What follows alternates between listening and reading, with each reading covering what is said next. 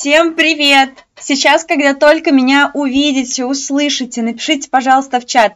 Я уже всех приветствую, желаю всем хорошего дня. Оля появилась, да, вижу в чате, Всем привет. просто Сейчас выключила звук. Привет, привет, привет всем городам, всем ребятам, которые сегодня пришли на занятия. Я надеюсь, что вы меня хорошо слышите и видите. Давайте это сразу проверим. Как вам качество звука, качество видео и качество презентации. Оцените, пожалуйста, в чате от 1 до 10. И да, пока вы пишете, я поздравляю каждого из вас с прекрасным днем 1 сентября.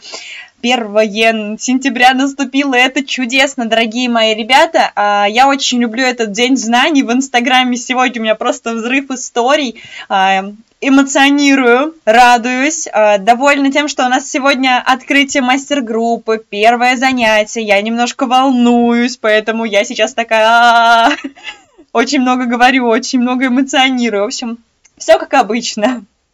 Итак, а, сегодня у нас первое занятие в мастер-группе. Мы сейчас все познакомимся, пообщаемся. Кстати, вы знаете, что сегодня занятие открыто. Соответственно, на него могут прийти все ребята, которые захотят. Поэтому, если вы хотите, можете прямо сейчас там одноклассникам, друзьям, а, еще кому-то прислать ссылки. Все могут подключаться и наблюдать за нашим с вами занятием.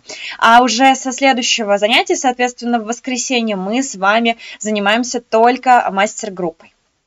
То есть уже занятия открытыми не будут. Открытые занятия будут только по воскресеньям. Это бесплатный вебинар, про который вы все знаете. Я вас тоже на них приглашаю.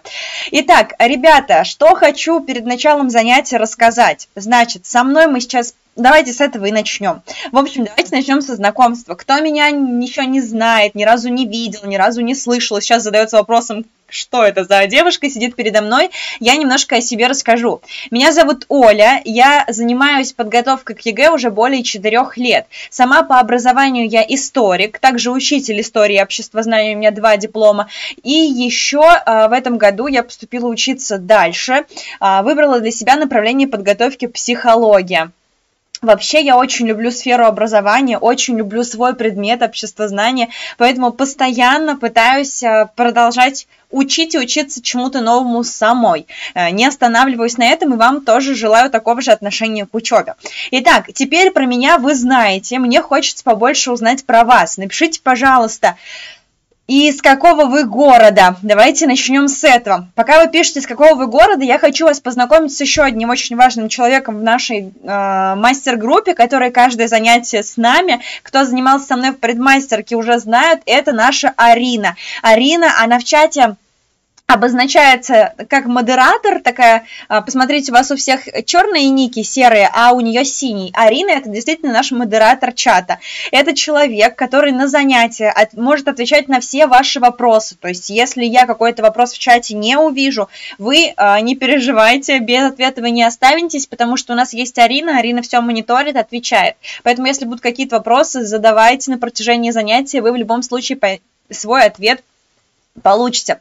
Итак, у нас сегодня очень много людей с разных городов. Я всегда радуюсь этому моменту. Москва, Астрахань, а, так, Оренбург, Екатеринбург, Ростов-на-Дону, Тюмень, Челябинск, Сочи, Новосибирск, Пенза, Тольятти, Татарстан, ну, видимо, Думала, прям напишет предсказание, но нет. Ну, ничего страшного, это вообще еще прекраснее. Так, э, Сергиев Посад, э, Орел, Ярославль, о, очень много, я продолжаю вот так читать, это прекрасно. Каждый раз очень интересно отследить географию занятия. Итак, э, ребята, еще по нескольким правилам до того, как мы начнем наше занятие, что хочется сказать. У нас с вами есть чат. В чат вы можете задавать вопросы, в чат вы пишете ответы на мои вопросы, мы с вами через него общаемся, сообщаем о каких-то проблемах, если где-то что-то со слайдом, со звуком. Все пишем в чат, не стесняемся. Арина чат читает, я периодически смотрю через чат, мы с вами общаемся, это понятно. Второе. Занятие у нас будет идти приблизительно час 30, час 40. Так что закладываем по времени этот момент и держим в голове. А будет ли перерыв? Да, будет. Обратите внимание, мы сегодня с вами разбираем две темы. Отдельно человек и потом, что такое мировоззрение. Поэтому как только закончим с человеком, идем на пятиминутный перерыв и возвращаемся к мировоззрению. А, еще какие вопросы могут возникнуть? Ага, Оль, а что, если я вдруг что-то не успею написать? Это не страшно. Что мы делаем в этом случае? Во-первых, если чувствуете, что мы э, куда-то спешим, нажимаете на паузу, да, на пробел, там, на Enter, а, YouTube позволяет останавливать трансляцию, вы просто перепишите все, что вам нужно, и дальше продолжите смотреть занятия. Если вдруг я слишком быстро переключила слайд, вам это не понравилось, вы всегда можете написать в чат кодовое слово, которое я пойму. Ребята на предмастерке выбрали это слово «мурк», а также можно присылать э, значок томата, ну, смайлик томата. Если я вижу эти слова, я понимаю, что, ага, что-то я перелистнула. А, перерыв на мозговой штурм будет где-то через э, минуточек 50, через час, в зависимости от того, как мы разберем тему человек. Об этом сказала. Ну и, наверное, все. Какие-то вопросы у вас организационные есть? Если да, задавайте в чат, если вдруг сейчас что-то там не услышали или не поняли, или вас что-то тревожит. По плану занятий пока что расскажу. Мы сегодня с вами изучаем полностью теорию по человеку и его мировоззрению. Все вы фиксируете в своем скрипте. Скрипт можно, если не напечатали, прямо сейчас быстренько напечатать. Скрипт у нас состоит из шести страниц, будет полностью соответствовать презентации. Также а, помимо а, скрипта у нас сегодня на занятии еще будет практика, да, то есть а, я объясняю материал, и мы прямо на занятии практикуемся через чат. Расскажу о ней более подробнее, когда до нее дойдем. Ну и, наверное, все. А, и хотел сказать, вот, изучаем сегодня человека мировоззрения, и в самом конце для самых сильных у меня есть небольшой сюрприз. Поэтому, да, мы сейчас начнем, Настя, прям секундочку. Поэтому для самых-самых сильных, кто останется до конца, э, будет небольшой сюрприз, так что рассчитывайте свое время. Ну что ж, ребята, Сегодня у нас человек и мировоззрение. А, скажите, пожалуйста, готовы ли вы начинать? Если да, то два плюсика в чат. А, если у вас есть скрипт, если у вас есть а, хорошее настроение, час 30 свободного времени, желание заниматься, учиться, учить общество знания, а также еще если вам необходимо там, чай, кофе, какао, скорее все это несите. Если у вас все есть, два плюсика в чат. Да, кто был со мной в предмастерке, уже знают, что я всегда по два плюсика прошу. Кстати, я вообще очень сильно люблю число 22. В этот день я родилась, поэтому не случайно, все не случайно, и два плюсика тоже не случайно. Отлично. Ну что ж, а, начинаем мы наше занятие сегодня в предмастерке. Расскажи мне, Оля, о человеке, можете вы меня спросить. Ну что ж, рассказываю. Вообще человек это одна из базовых тем. Эта тема а, может вам встретиться и в первой, и во второй части. А это означает, что мы учим все определения, учим все схемки и все это понимаем. Итак, что же такое человек? Начнем с определения. Запишем, что человек это прежде всего биосоциальное существо. Пишите биосоциальное существо. Как только напишите, сразу выделяем два корня – био и социал. Угу. То есть а, человек – это существо какое-то, и не просто существо биологическое, а еще и биосоциальное. Записали. Продолжаем давать определение. Биосоциальное существо, обладающее даром мышления. Угу. Человек может мыслить. Речи. Человек обладает членораздельной речью. Вы сейчас понимаете, что я говорю, и мы говорим на одном языке. У нас это как раз-таки речь. Угу. Также способностью создавать орудие труда и пользоваться ими в процессе общественного производства. Еще раз разбираем определение. За это время, кто не успел дописать, допишите. Человек – это биосоциальное существо, обладающее даром мышления и речи, способностью создавать орудия труда и пользоваться ими в процессе общественного производства. Итак, а, в этом определении, думаю, в целом все понятно, но сейчас постараюсь его прокомментировать. человек а, а, почему такое определение? Почему такое определение? Мы запоминаем именно его. Сначала в любом определении в обществознании нам нужно а, дать ну, как бы родовое понятие. То есть человек это что? Это биосоциальное существо. А дальше обязательно нужно охарактеризовать определение, сам термин, с двух, э, ну, как бы с двух сторон, то есть как минимум два признака назвать. И вот мы говорим, что человек – это биосоциальное существо, которое, во-первых, обладает мышлением, во-вторых, речью, в-третьих, способностью создавать орудия труда, и в-четвертых, еще и использовать их в процессе общественного производства. Таким образом, мы даем определение. Что касается самого экзамена, вот это определение из учебника, поэтому оно наверняка верное.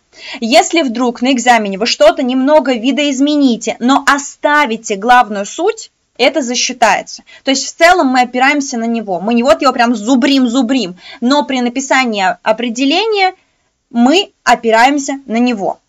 А если вдруг вы сейчас мне скажете, Оля, а как же остальные признаки человека? Мы что, их не перечисляем? В определении мы можем их не перечислять, потому что то, что я назвала сейчас, этого достаточно для характеристики человека.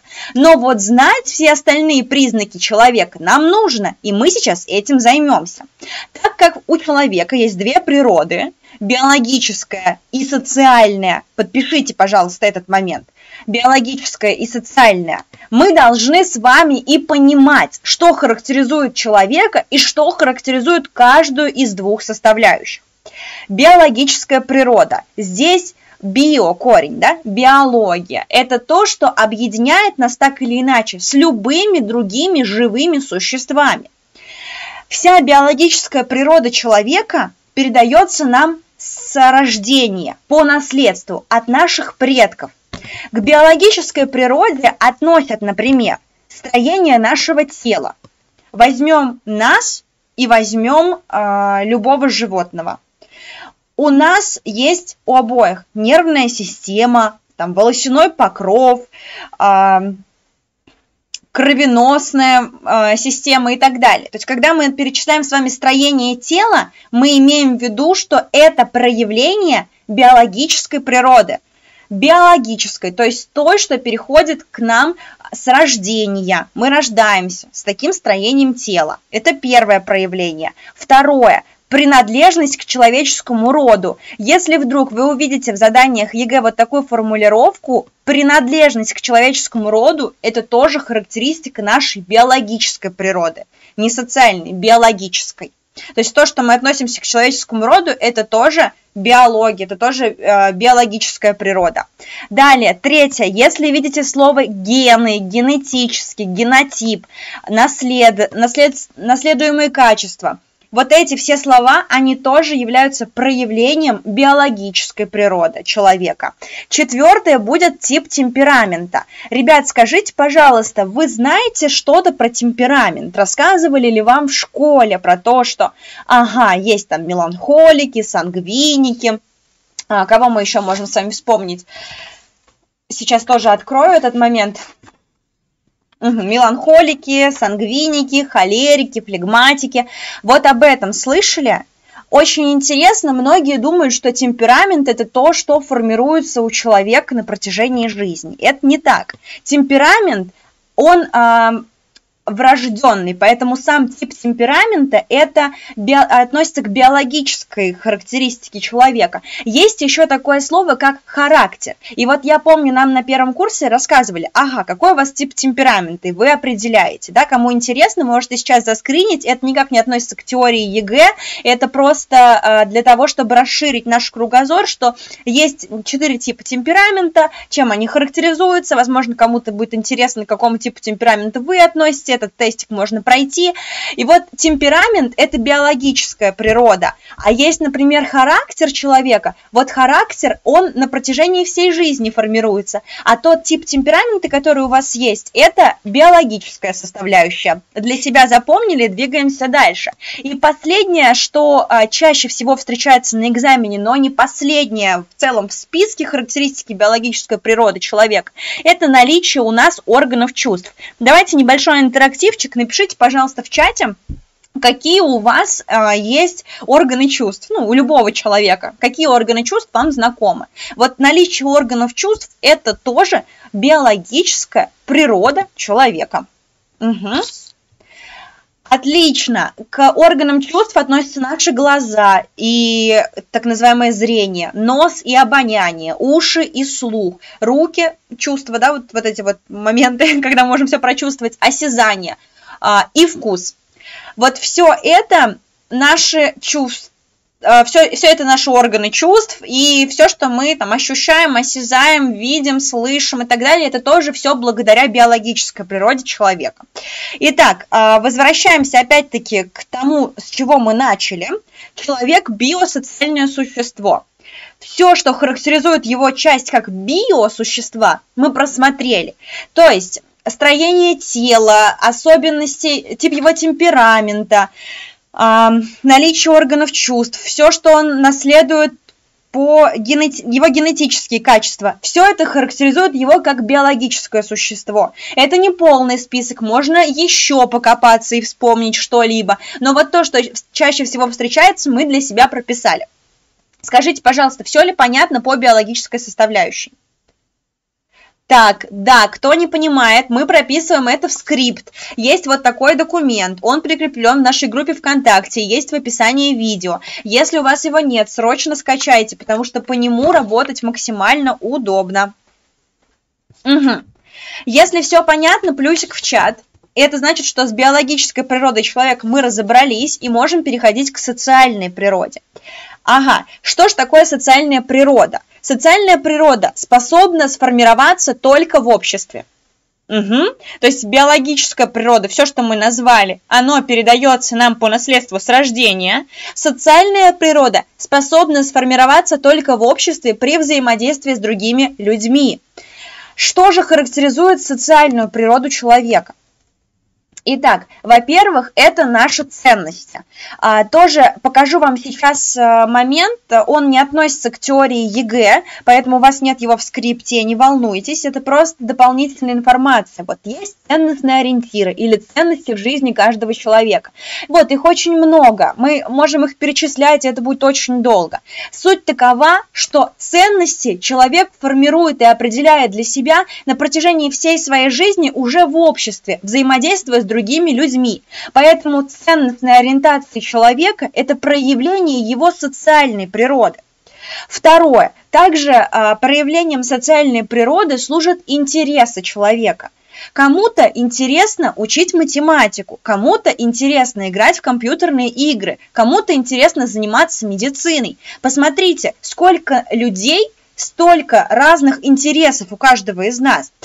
Почему такое происходит? Почему не у всех одинаковые интересы? Потому что интересы тоже формируются у нас на протяжении нашей жизни в э, при взаимодействии с другими людьми. Поэтому у кого-то, у одной группы одни интересы, и они любят русский язык, у кого-то другие интересы, они любят учить английский язык, кто-то любит вышивать, кто-то ненавидит вышивать. Соответственно, у каждого человека интересы различные, и это тоже проявление социальной природы. Следующий пункт – это самые разные знания и умения.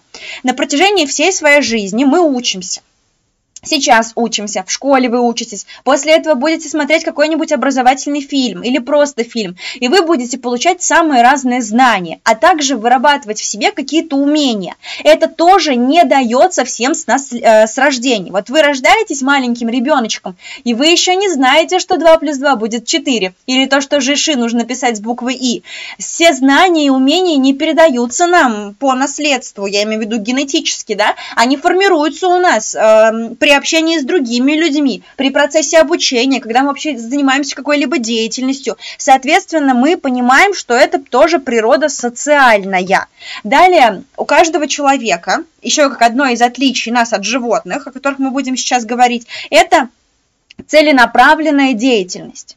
Каждый из нас занимается какой-то деятельностью. И если я сейчас пойду э, играть в какую-то игру, да, то у меня будет цель. Если я пойду в магазин, у меня будет цель. Если я сейчас буду учить, э, я не знаю, типа темперамента, у меня тоже есть определенная цель. То есть это означает, что человек может ставить свои цели себе сам, и в этом проявляется свобода выбора в цели. И вот вообще то, что человек ставит цели, что он свободен при выборе своих целей, это тоже социальная природа человека.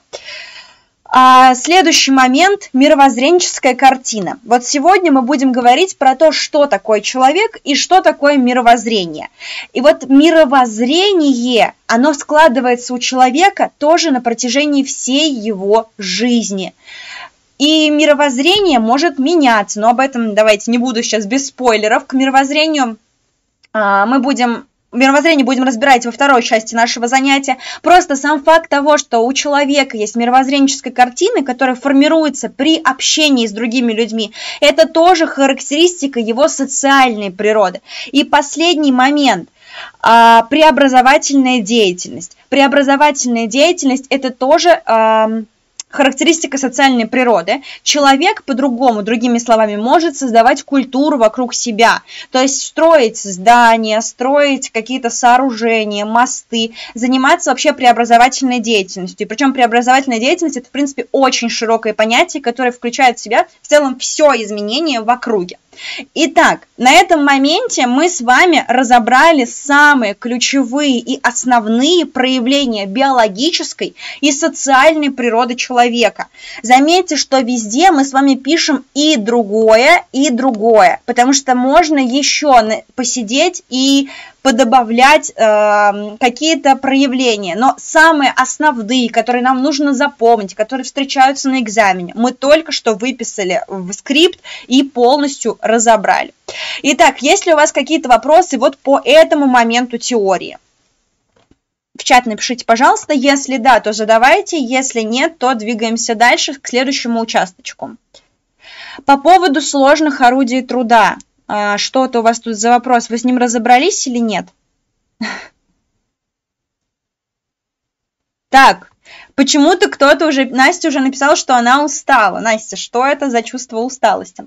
Отлично, вопросов нет. Если они будут, задавайте. Арина за ними, соответственно, наблюдает, отвечает. Вы тоже друг другу можете отвечать, делиться собственными мнениями. Так, Даша уже хочет про мировоззрение поговорить. Даша, сейчас поговорим, не торопись.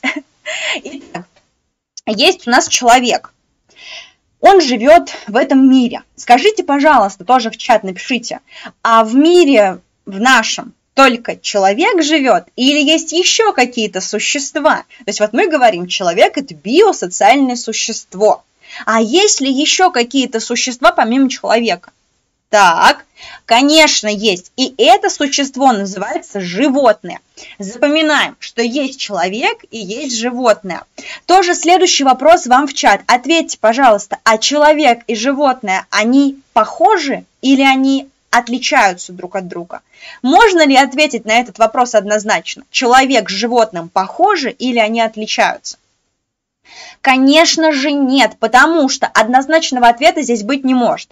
У человека и животного, так как они оба био биосущества, есть очень много схожего, и так как человек это существо социальное, они с животным также очень э, во многих пунктах отличаются. И вот для экзамена нам нужно с вами четко понимать, что объединяет человека и животного, а что является их отличительными чертами. Это могут спросить в первой части точно. Очень часто бывает такое задание, я вам даже его сегодня а, сразу же покажу. Бывает задание. Найдите в приведенном списке а, признаки, которые там характеризуют общие черты человека и животного. Или могут спросить по-другому. Найдите в списке э, черты, черты, которые характеризуют биологическую природу человека, социальную природу человека. Именно поэтому мы сейчас с вами разбираемся. Итак, чем же они похожи, чем они отличаются? Давайте начнем с общих черт. Ага, помним первое, что и люди, и животные, они живут где? В природе. Поэтому мы можем сказать, что у нас одна среда обитания. Такого пункта здесь нет, это мы просто для себя имеем в виду, потому что, опять-таки, и другое, мы можем это записать. Я просто вам для общего понимания, так как мы с вами живем на одной, ну, как бы в одной среде, это уже то, что нас объединяет. Что же мы можем конкретно назвать? Во-первых, мы не просто живем в одной и той же естественной среде, мы еще и животные и люди начинаем приспосабляться к условиям окружающей среды. То есть э, мы начинаем, так скажем, течет река, да, мы можем э, как-то ее использовать в своих целях, и животные тоже. Могут там лапки помыть, могут попить, могут еще что-то сделать. И человек сразу, ага, начинает приспосабляться. Например, э, ну это просто самый базовый пример, даже супер маленький пример про воду лучше его не, не приводить мне было, я вам сейчас что-то другое приведу по поводу приспособления к окружающей среде. Но это в целом меняется природа, и человек учится в ней жить, и животное учится в ней жить. То есть он может приспособиться к этим условиям. Мы все живем в условиях природы. Второе, вторая черта – это то, что и у животных, и у людей есть естественные и, или биологические потребности. Смотрите, в этом моменте давайте разбираться, какие примеры естественных потребностей вы знаете. Вот чтобы не быть голословными, нас объединяют биологические потребности. А какие конкретные потребности у нас есть? Ага, и животные, и люди хотят спать, хотят пить воду, хотят кушать еду, и потребности в дыхании, в воде, в еде, дыхание по-другому в воздухе, в еде, в воде, в сне, это все биологические потребности. И эти потребности нас с животными сближают. И третье, и человек, и животное может использовать предметы, которые дает им природа. Угу. Вот, это основные схожие черты. Можете, черты. Можете написать еще больше эм, схожих моментов, которые нас объединяют. Но самые базовые мы с вами назвали. Во-первых, они живут в одних и тех же условиях, используют предметы, которые дает природа. Во-вторых, у них есть биологические потребности, которые их сближают. В-третьих, у них есть... Э, так скажем, э, возможность приспосабливаться к условиям окружающей среды, и это их сближает. Что же тогда отличает нас от животных? А вот здесь список намного больше. Смотрите, первое это то, что у человека есть сознание. Запишите, и если вы пока не знаете, что такое сознание, так, а, что касается размножения. Мы не биологи, и мы не пишем размножение как потребности. Мы с вами а, пишем потребность в продолжении рода. Потребность в продолжении рода. Она будет называться так. И да, это тоже естественная потребность, которая также сближает нас с животными. Животные продолжают свое потомство, да, а, рожать, соответственно, воспроизводить, и человек тоже. Это потребность в продолжении рода. Да, размножение – это не потребность, а потребность в продолжении рода – это потребность. Общими усилиями разобрались. Итак, переходим к тому, что же отличает человека. Во-первых, это наличие сознания. У человека сознание есть, и мы сегодня с вами раз... еще вернемся к этому вопросу в конце занятия. То есть, что такое сознание и каким оно может быть. Также, помимо сознания, у человека есть еще мышление и речь. И вот тут прям можете поставить восклицательный знак, потому что это часть определения. Человек – это биосоциальное существо, обладающее мышлением, сознанием и членораздельной речью. То есть вот этот момент очень важен. Это отличительная черта, которую нужно обязательно в определении показать. Второе, что отличает человека от животных, это то, что мы уже разбирали, целенаправленная деятельность. Человек может ставить перед собой цели и к ним идти. А также помимо целенаправленной деятельности у человека есть еще возможность занимать де... заниматься деятельностью творческой. Например, писать песни, танцевать, рисовать, создавать фотографии, снимать фильмы. И это тоже отличительная особенность человека – творчество.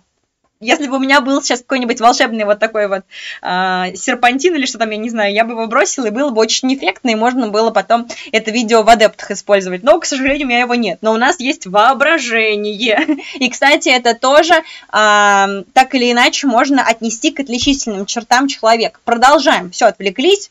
Пошутили, похихикали, продолжаем учиться.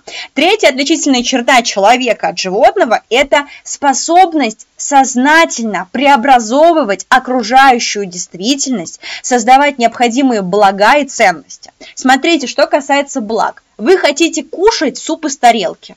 Тарелка – это как раз-таки необходимое благо для вас. Вы хотите лежать на диване дома, а не спать на полу. Это тоже благо. И вот как раз-таки человек эти блага для себя может создавать. И опять-таки, он создает это осознанно. И он, а, перед тем, как что-то создать, преобразовывает окружающую природу. Вот в чем отличие?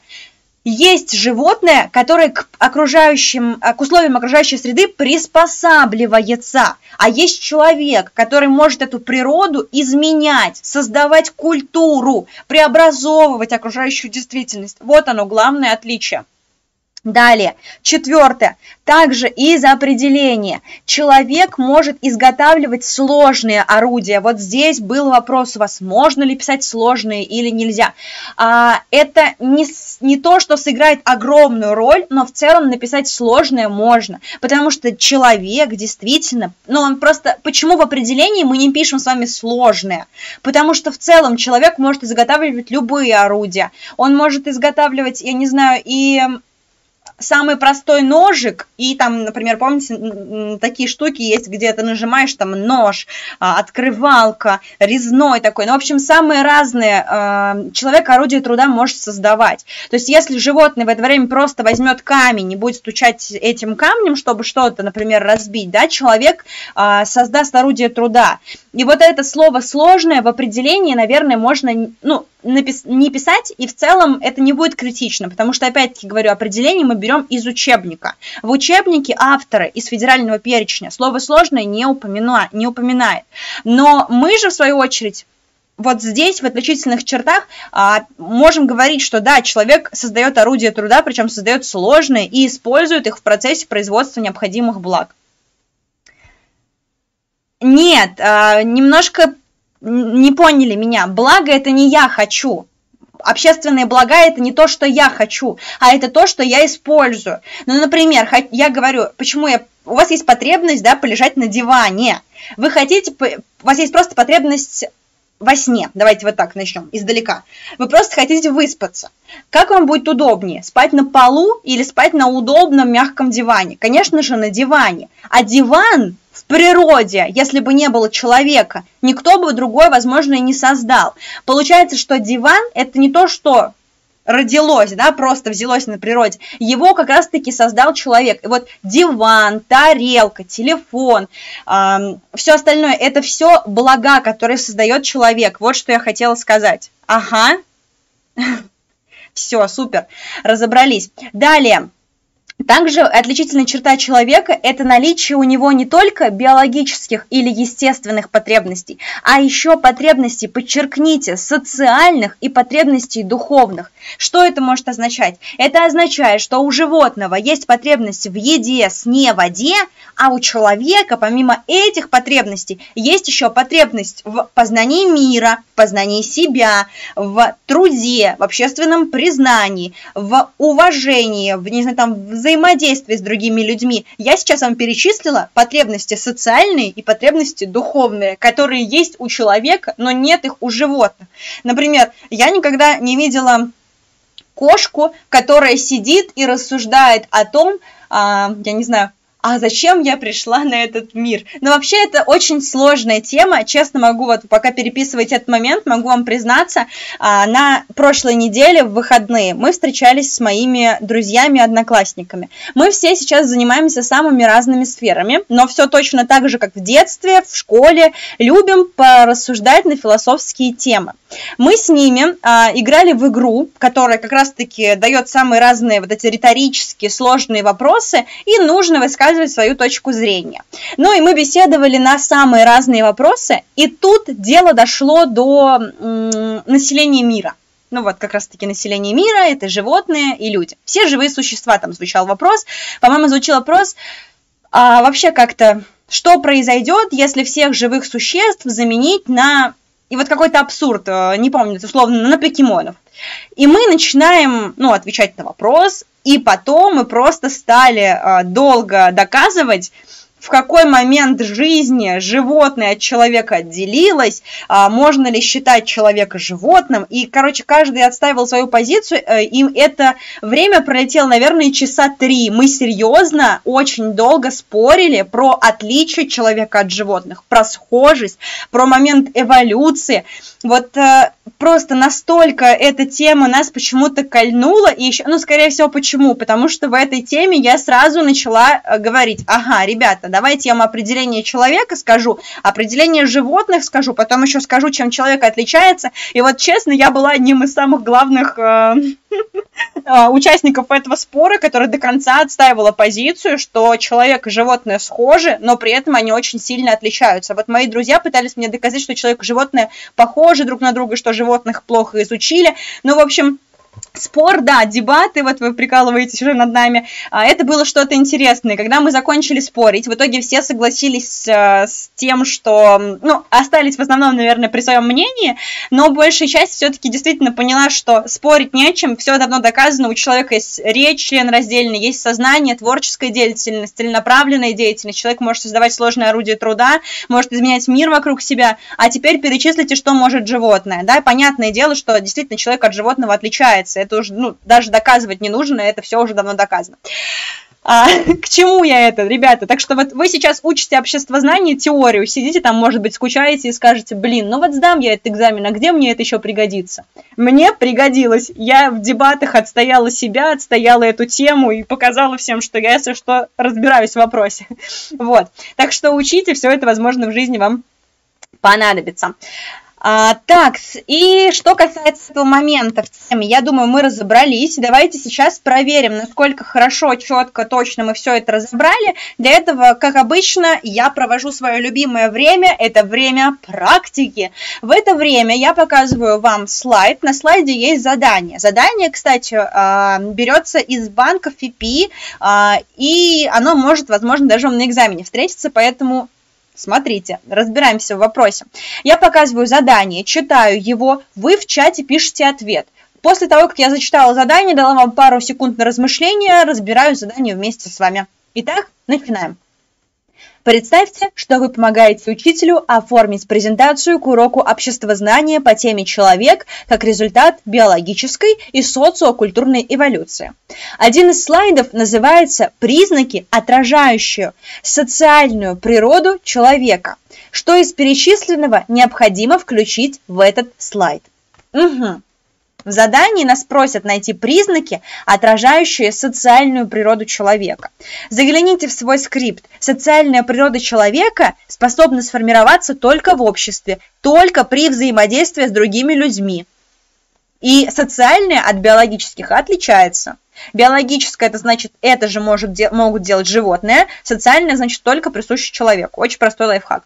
Читаем. Потребность в уважении со стороны других людей, приспособление к условиям окружающей среды, общение с помощью словесной речи, стремление к самореализации в обществе, способность к продолжению рода, использование предметов, данных природой. Пользуемся моим лайфхаком. Если это делают и животные, и люди, то это биологическая природа. Если это делают только люди, то это социальная природа. Приспособление к условиям окружающей среды. Зачеркиваем. И мы, и животные приспосабливаются к окружающей среде. Э, способность к продолжению рода. И у людей есть дети, и у животных котята, и у собак щенки, то есть все продолжают свой род. Это тоже биологическая природа. И использование предметов данных природой, и мы ветки используем, и бобры там, дерево, да, из, из него тоже что-то в своих целях он использует. То есть используют предметы и животные, и люди. Соответственно, что у нас осталось? Потребность в уважении со стороны других – это только человек, только человеку нужно, чтобы его уважали, любили, ценили. Ну, это как раз-таки... А, вообще это престижная потребность по престижная потребность по Маслоу, о потребностях на следующем занятии, и социальная потребность, потребность в уважении. Социальная потребность по другой классификации. Для тех, кто сейчас в танке не понимает, что я сказала, когда будем разбирать тему потребности, вы все поймете. Есть две классификации основные, которые в учебниках даются. Это самая базовая классификация, когда все потребности делятся на, на три группы, и э, пирамида потребностей по Маслоу. И я вам сейчас, в принципе, немножко про них сказала. Но э, еще вернемся к ним на самой э, теме, когда будем разбирать потребности. Далее, общение с помощью словесной речи – это тоже человек, и стремление к самореализации – тоже человек. Таким образом, один, три, четыре, действительно правильный ответ. Все молодцы, с заданием справились. А следующий момент мы торжественно перелистываем скрипт на следующую тему и знакомимся с словами, которые многие чаще всего путают. Индивид, индивидуальность, личность и человек. Это все одно и то же – Хм, как посмотреть? Извините, но для общества знания нужно знать вообще четыре определения. А это значит, что объединить в один ком не получится. Нужно все анализировать, нужно все изучать и нужно все запоминать.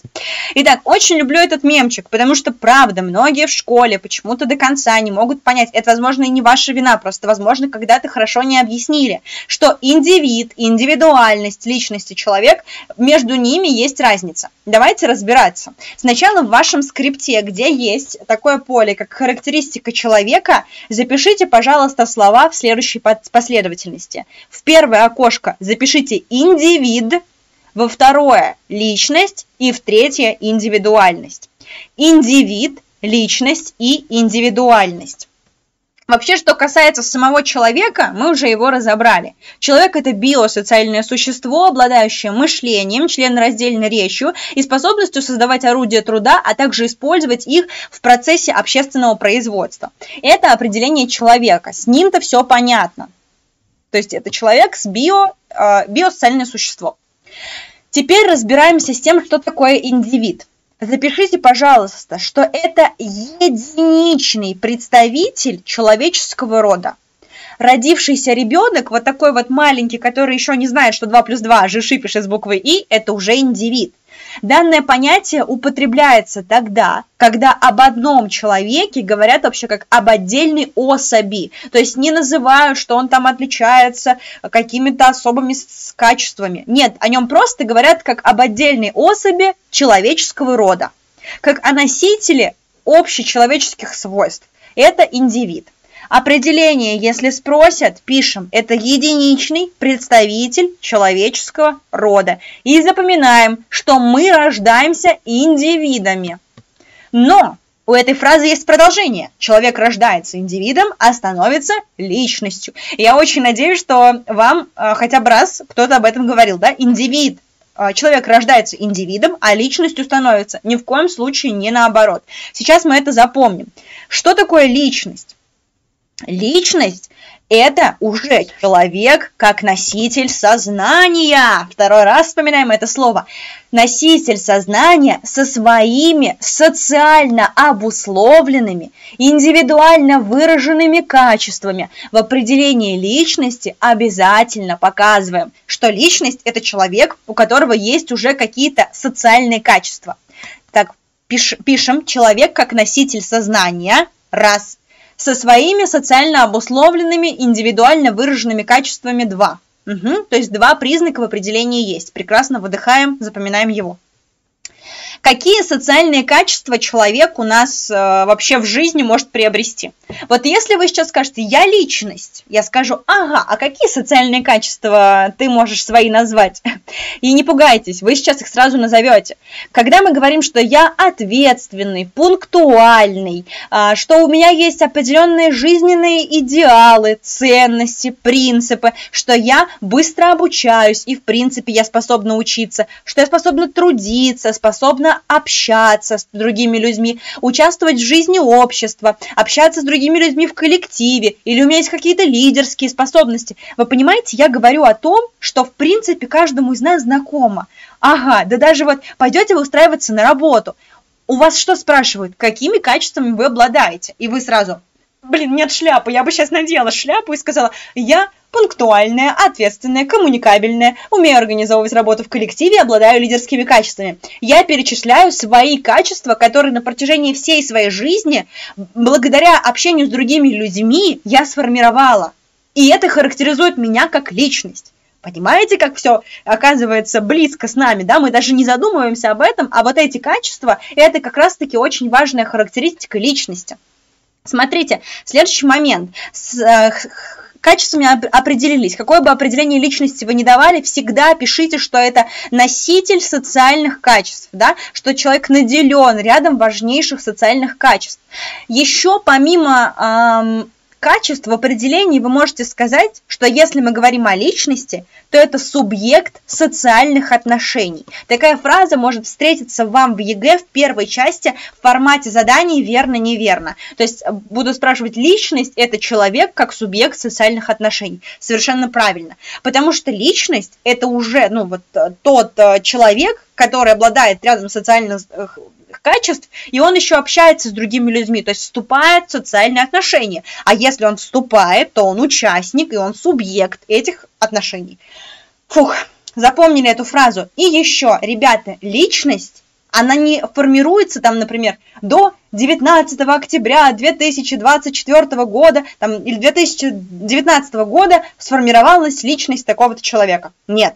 Личность формируется и развивается на протяжении всей жизни человека. Живет человек, он хоп, там, пунктуальным стал, да, или, например, ну, вообще у него не было такое качество, всегда опаздывал, а он продолжает же формироваться, продолжает развиваться, продолжает познавать мир, подстраиваться под этот мир, копирует поведение других людей. Таким образом, его личность формируется на протяжении всей жизни.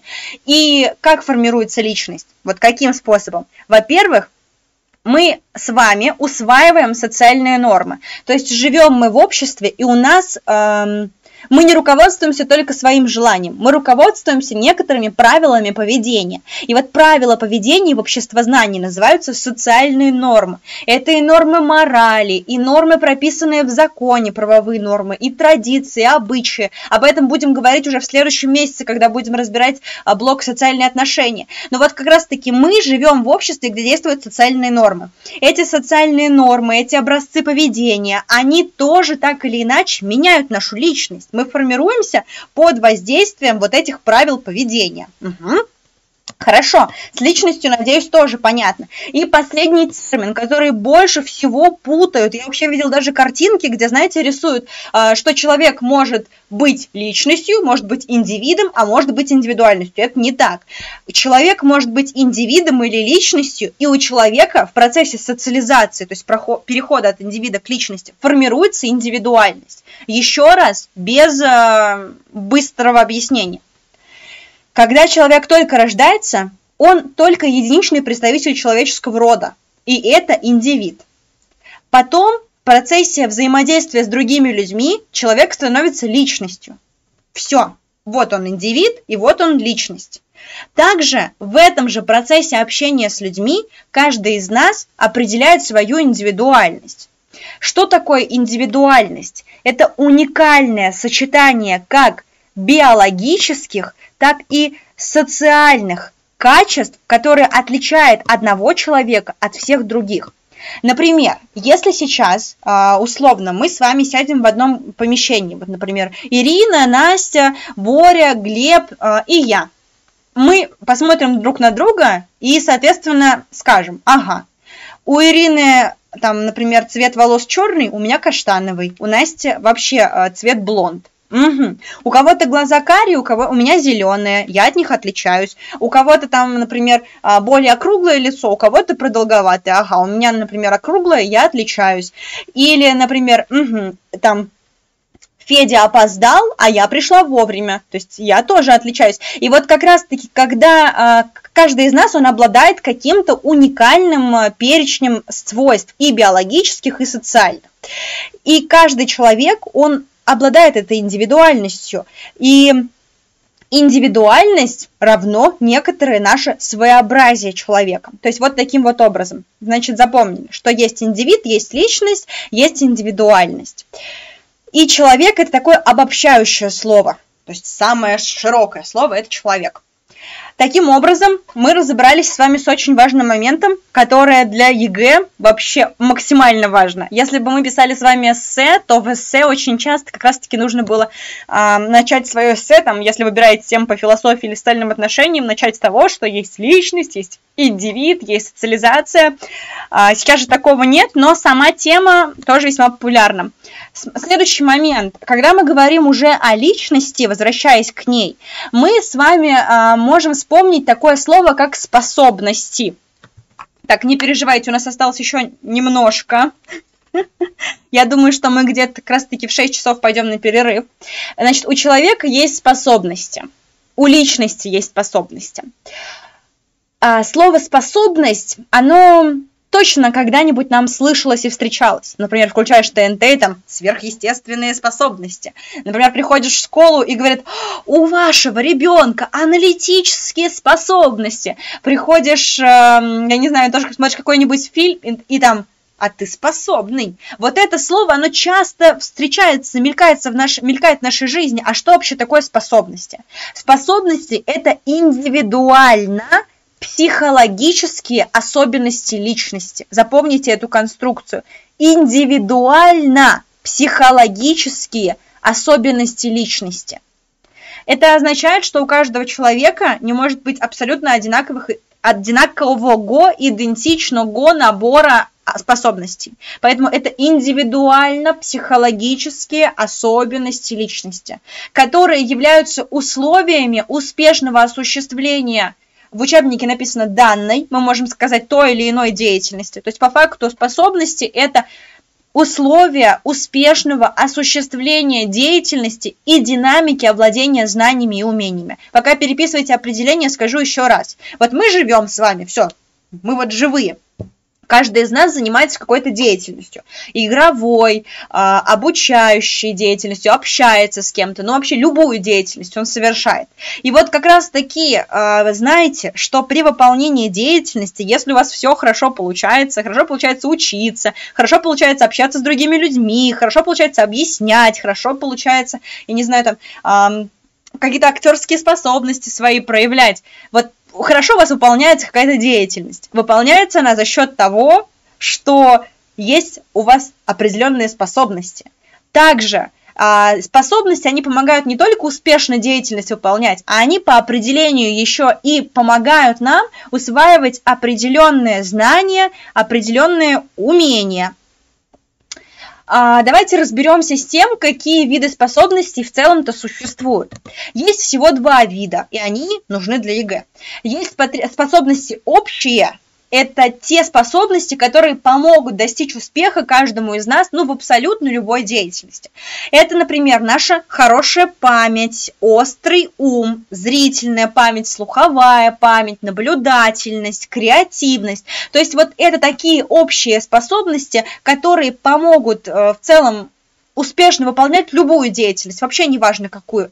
А есть вторая группа способностей, это способности специальные. Специальные способности – это те способности, которые помогают нам достичь успеха в конкретной деятельности. Например, хотите вы стать известным математиком, у вас э, должны быть развитые математические способности. Хотите рисовать картины, художественные способности, писать э, стихи, стихотворения литературные, быть как Егор Крид, музыкальные, да? Извините, что я прям про Егора Крида, я просто вспомнила сразу первого попавшегося в моей голове а, музыканта. Ну, можем назвать, как Лариса Долина, как Егор Крид, как Алла Пугачева, как а, Клава Кока и другие, то есть люди, у которых есть способности музыкальные.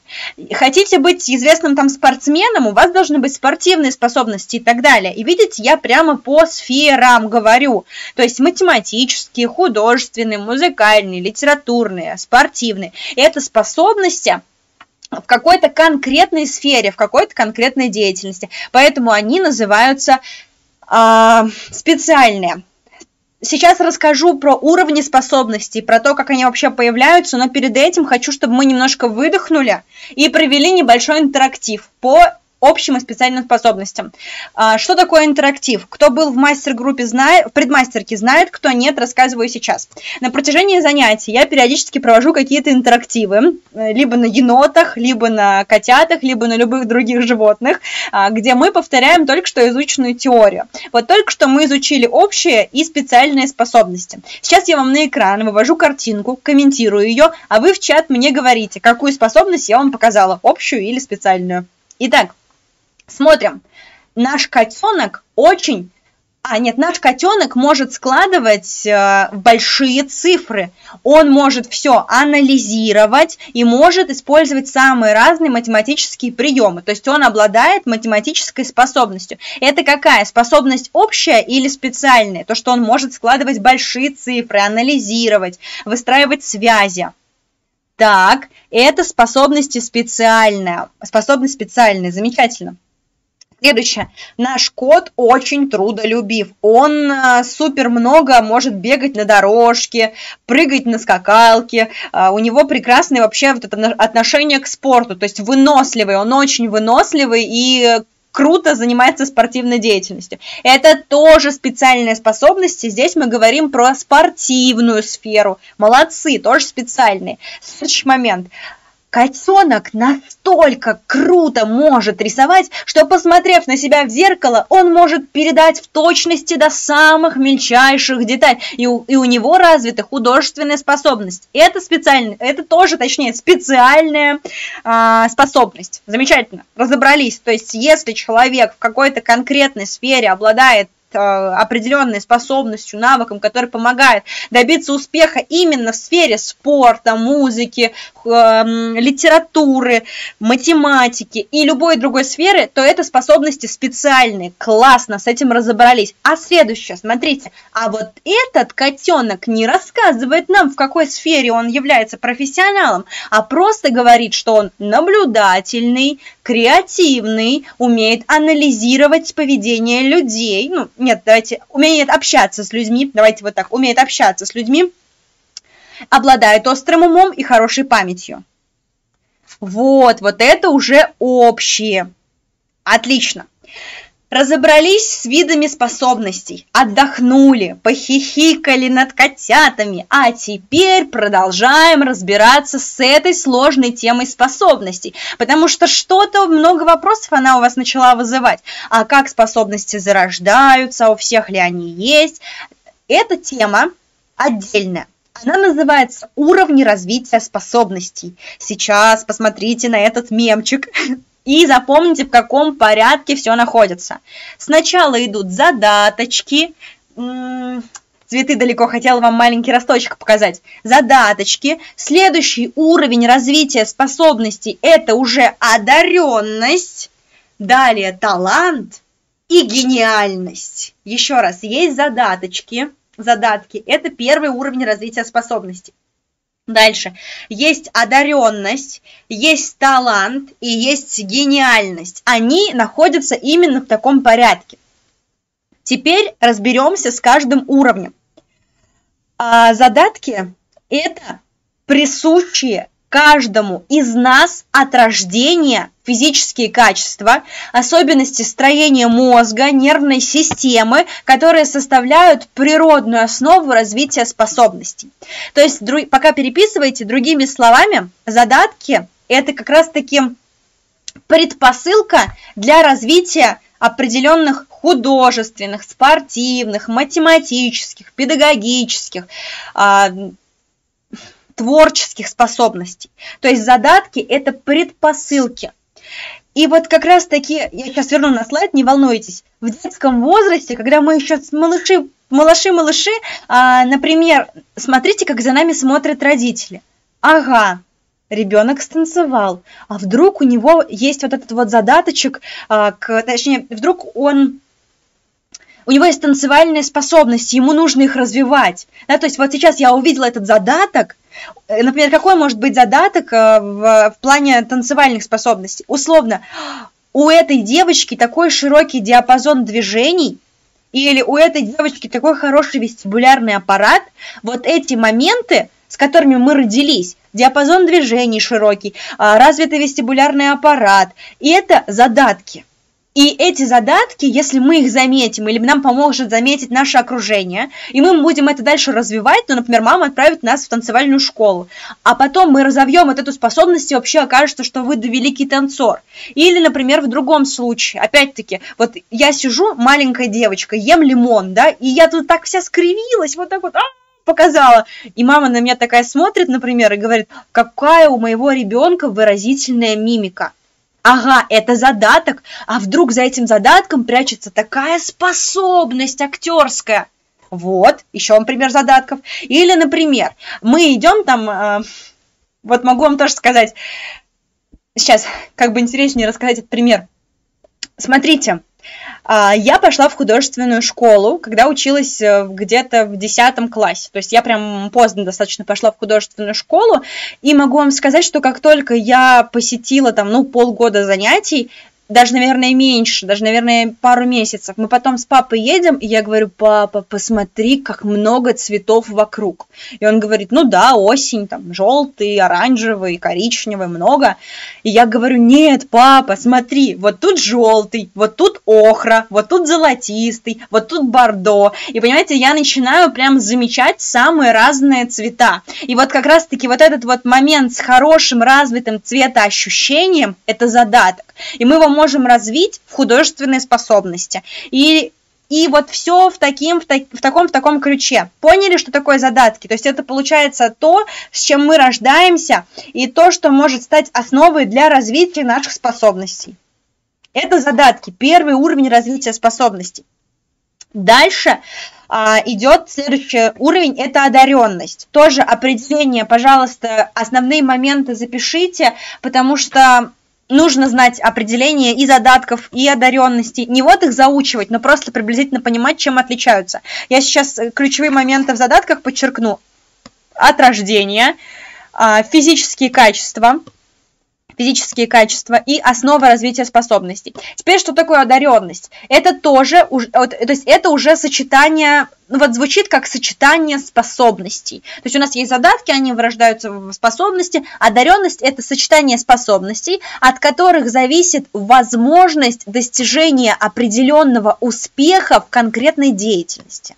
Еще раз, одаренность – это такое сочетание способностей, от которых зависит возможность достижения а, значительного успеха в выполнении той или иной деятельности.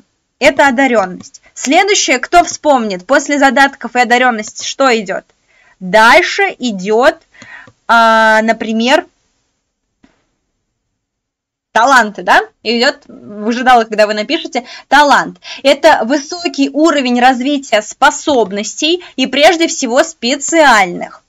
А специальные это как раз-таки математические, художественные и так далее.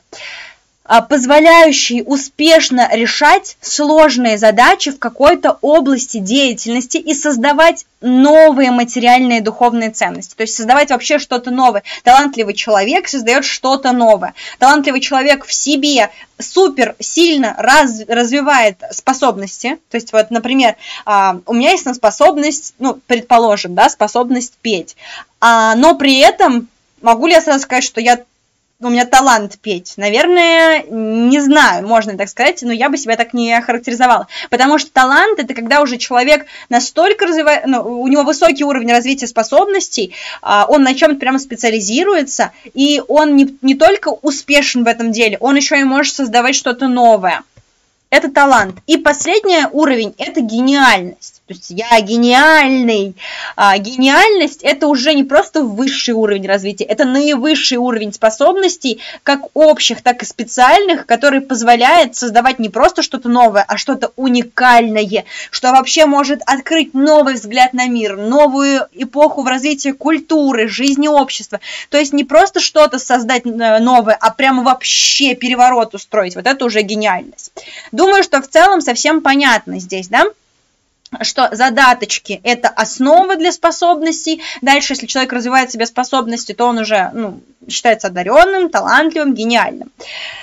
Так, с этим все. И еще Про, про песни очень смешно, не хочу петь. Что, что еще хочется сказать и подчеркнуть, пока не, не закончили способ, про способности говорить?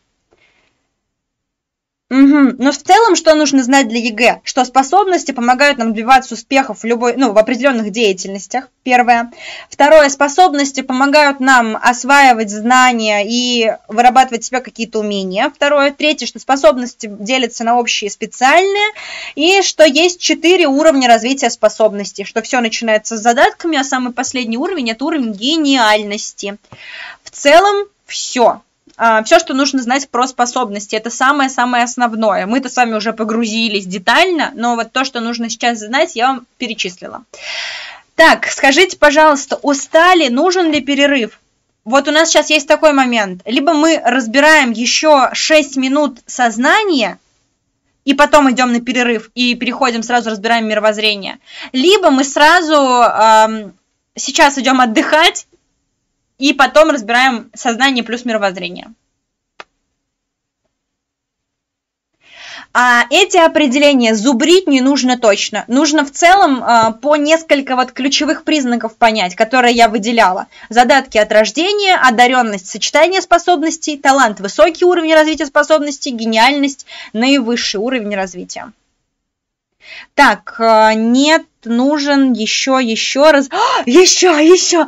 Общество, как давно не учил! Хочу, хочу, да, вот такие у вас эмоции. Работаем, работаем. Сейчас кофейку разбираем, разбираем, не нужен перерыв, хочу 50 на 50, разбираем, сразу до конца пойдем, разбираем. Да вы чего, накинулись-то так? Ну хорошо, давайте тогда сделаем так, ребята, мы еще 6 минут разбираем, а потом идем на перерыв. А, перерыв, кстати, тоже небольшой, всего 5 минут, поэтому тот, кто чувствует, что сейчас максимально устал, поставьте, пожалуйста, на паузу, и вот в тот момент, когда мы будем делать перерыв, вы посмотрите этот участок теории и сразу же присоединитесь к нам. А мы тогда продолжим про сознание. Смотрите, а, значит, еще 6 минут про сознание и дальше мировоззрение берем после перерыва. Тут будет немножко сложно, поэтому сейчас делаем дыхательную гимнастику. Вдыхаем и глубоко выдыхаем, потому что нужно перенастроиться немножко на сознание.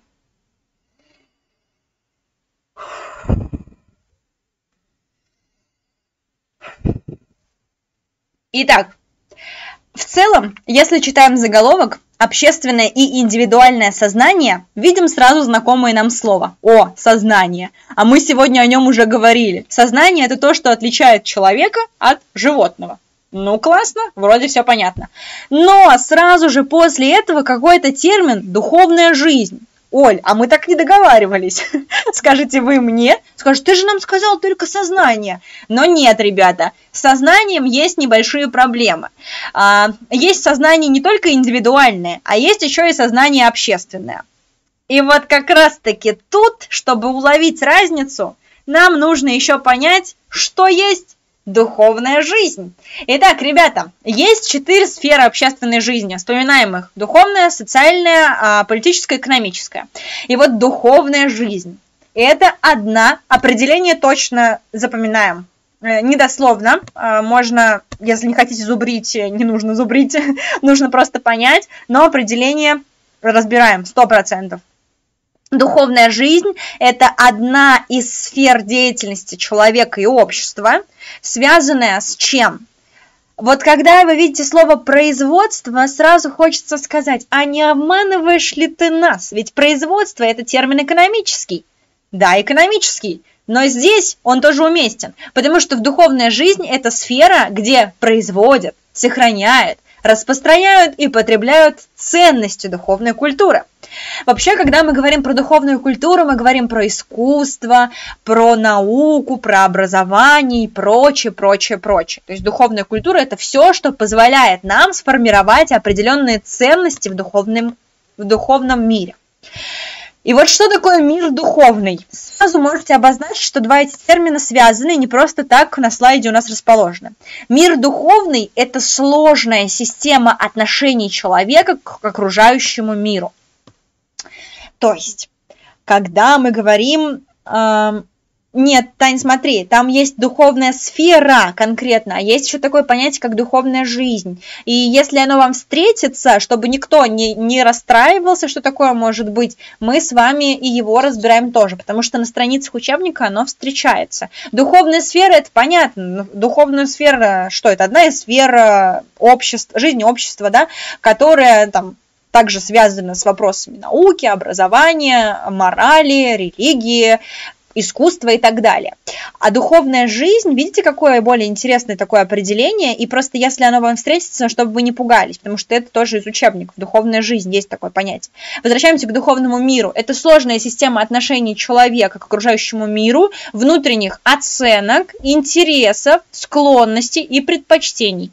То есть это сложная система отношений, сложная система внутренних оценок, сложная система интересов, склонностей и предпочтений, которая связана с духовной жизнью общества. Принадлежностью человека к определенным социальным общностям, группам и их субкультурам. В общем, термин немножко сложный. Вы сейчас без перерыва, возможно, меня покусаете за то, что я вам такую часть на середину оставила.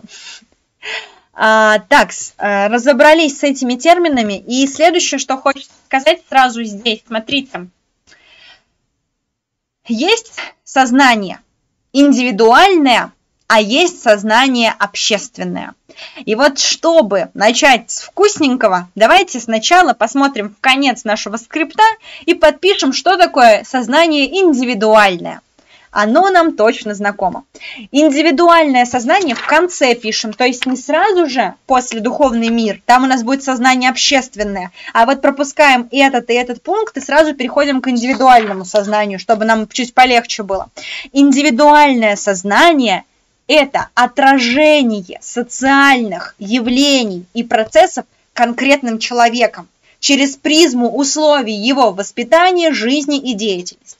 То есть у нас с вами... Настя, да, я а, тоже часто слышу, что, ой, да темы-то легкие, что там учить? Ага, на экзамен, когда приходят и говорят, а, а это что нужно было в этой теме изучать? Да-да, вот такая вот она картинка легкости. А на самом деле в обществе очень много всяких «но». Итак, индивидуальное сознание – это когда мы говорим про сознание конкретного человека.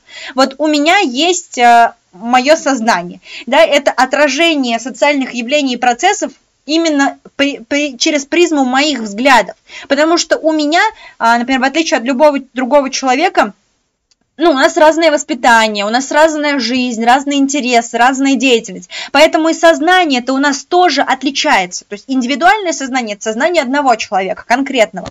А вот сейчас мы с вами разберем такой термин, как сознание общественное. Потому что тоже такое может быть. Представляете, общественное сознание – это уже совокупность представлений, смотрите, не человека, а кого? Правильно, людей. Это совокупность представлений людей о чем? Об общественных явлениях и процессах. То есть индивидуальное сознание – это сознание одного человека эм, о том обществе, о том социуме, где он как бы находится, да, социальных явлений. Общественное сознание – это совокупность представлений людей. Сейчас, сейчас, сейчас, смотрите, индивидуальное вот здесь, в конце, на страничке, на третьей страничке в конце – а общественное вот в этом моменте, сразу после духовного мира. Разобрались? Не паникуйте. Духовный, э, общественное сознание, совокупность представлений людей об общественных явлениях и процессах. И вот последнее, перед перерывом, правда, последнее, последнее, просто разберемся с уровнями общественного сознания и пойдем отдыхать. Угу. Уровни общественного сознания. Тут немножко сложно, чуть-чуть, но понятно. Есть идеология, и есть общественная психология. Идеология является продуктом целенаправленного теоретического осмысления жизни. То есть идеология – это теоретическое осмысление жизни. Пишем определение. Это система теоретических взглядов. Теория теоретических взглядов теоретических взглядов, отражающих степень познанием обществом мира в целом в отдельных его сторон, а также цели общественного развития. Определение рассмотрите я вам его выделила. Но для себя самое главное поймите, пожалуйста, что значит мурк? Мурк, это значит, что я быстро перелистнула то, что вы не успели дописать. Показываю. Остановите или сделайте скриншот и погнали дальше. Итак, с, иде... с идеологией. Запоминаем, что идеология рациональна, и это теоретическое осмысление жизни. Теоретическое осмысление жизни. А общественная психология это эмоциональная или чувственная составляющая. То есть, если идеология, то это общественное сознание через теоретическое осмысление жизни, а если мы говорим про общественную психологию, то это наши эмоции, это эмоции людей, чувства людей. Формируется общественная психология спонтанно, стихийно, отражает социальную реальность. И если говорить об определении, то это совокупность чувств, настроений, обычаев, традиций, побуждений, характерных для данного общества в целом и для небольших отдельных групп. Все.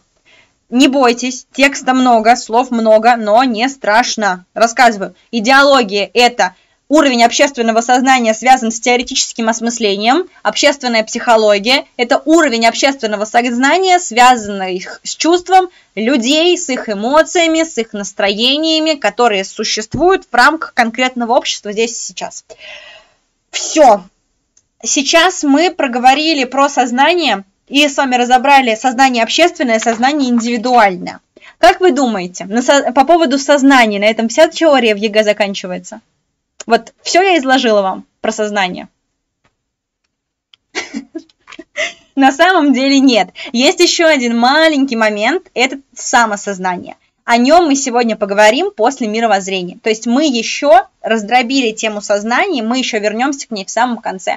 Но сейчас я вас отпускаю отдыхать. А, у нас получается время 18.15. Прекрасно. В 18.22. Арина, напиши, пожалуйста, 18.22. Я хочу найти чистый лист. Но вот тут напишем. О, вот так. В 18.22 мы возвращаемся на занятия и разбираем тему мировоззрения. А пока что все, кто хочет отдыхать, идет отдыхать и в 18.22 возвращается на занятия. А кто не хочет отдыхать, сейчас на мозговой штурм с Ариной. Она позадает вам вопросики. Вы на них поотвечаете и посмотрите, как там укладывается наша теория в голове. Я же возвращаюсь к вам в 18.22 и продолжаем разбираться с мировоззрением. Все.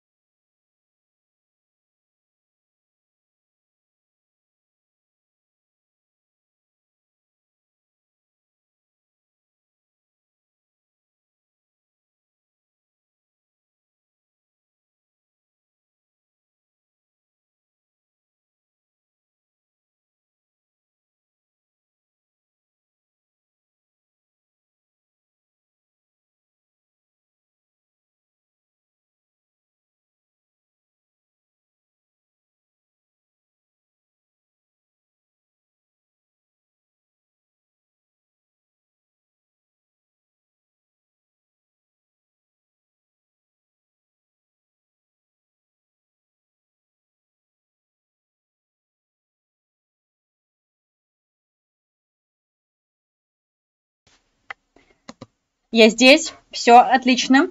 А, заканчивается ваш мозговой штурм. Как вам? Поделитесь эмоциями от мозгового штурма. А, все ли понравилось? Было ли интересно? Арина, спасибо тебе большое. А, итак, прям вот минуточку на обратную связь Арине. Понравился вам мозговой штурм. Она, конечно же, хочет это услышать, потому что тоже старается с нами, также сидит, пыхтит, еще раз учит общество знания. И да, 18.22, Саша мне, наверное, уже как часы такая, 18.22 вообще-то, Олечка, подключайся. Но я здесь. Все, отлично, эмоция от мозгового штурма у вас положительная. Это прекрасно. Тогда значит, что вы полностью готовы к теме мировоззрения. Итак, мне очень смешно, потому что я вам сказала, что мы закончим в 18.30, 18, ну, точнее, там, 10 минут у нас вступительных было, ну, где-то 18.40, 18.50, но на самом деле мы начинаем изучать мировоззрение. А это, я вам хочу сказать, еще одна отдельная тема. Не волнуйтесь, больше двух часов вас точно никто не задержит, потому что нужно отдыхать. Мы сейчас с вами разберем мировоззрение, оно намного легче, наверное, изучается, потому что ну, вы сейчас сами все поймете. Итак, мировоззрение. Я, как обычно, с каким-то сюрпризиком, да, сегодня я с очками. Если раньше это там были помидоры и э, игрушки, сейчас очки. Зачем, оно мне, зачем они мне нужны? И причем обратите внимание на цвет. Розовые очки. А, например, смотрю русский роман, и там «Сними свои розовые очки, на мир по-другому посмотри», и почему говорят про какие-то розовые очки? Потому что у каждого из нас есть мировоззрение. Перед началом истории про розовые очки разберемся с тем, что это такое. Мировоззрение – это целостное представление, вот оно главное слово, представление о природе, об обществе, о человеке, о месте человека в обществе, которое находит выражение в системе ценностей и идеалов личности, социальной группы и общества. Еще раз, Получается, у каждого из нас с вами есть мировоззрение. И мировоззрение это, кстати, проявление индивидуального сознания. То есть у конкретного человека есть мировоззрение, у каждого. Мировоззрение это наше представление о природе, об обществе, о человеке, о месте человека в обществе и в мире. Получается, это совокупность наших взглядов на мир, на наше место в мире, которое в дальнейшем превращается в целую систему ценностей и идеалов. Вот такое вот определение. Если грубо говорить, да, просто для того, чтобы запомнить, есть корень мир и есть корень воззрения. Другими словами, мировоззрение – это мой взгляд на мир. Вот так я вижу мир, и вот так я вижу мир. Вот так и вот так. И у меня, и у вас, у всех у нас есть мировоззрение. Теперь мы знаем, что такое мировоззрение, а теперь разбираемся детально. Вообще мировоззрение имеет свою структуру. То есть, я говорю, у нас есть мировоззрение. Вы мне в ответ, а как оно вообще может э, в нас жить? В чем оно проявляется? Как оно формируется? Я вам рассказываю. Начнем с того, что есть структура мировоззрения. Это то, из чего складывается наше мировоззрение, что влияет на наш взгляд на мир, на природу, на общество, на человека. Во-первых, это все наши знания. Угу. Все наши знания. Я что-то узнала о том, что в мире жить прекрасно, человек заботится о природе, высокие зарплаты, все люди любят друг друга. Хоп! Вот так знания э, повлияли на мое мировоззрение. Или, например, в мире очень много глобальных проблем, э, э экономические кризисы, человек убивает другого человека, человек совершает разные правонарушения – хоп, очки снялись, мировоззрение тоже поменялось. Но я к чему? К тому, что а, Оля, сними розовые очки. Да, Борис, очень смешно. А, мне кажется, вообще можно как цитату сегодняшнего занятия. Первое – это знания. Они влияют на наше мировоззрение, они входят в структуру мировоззрения.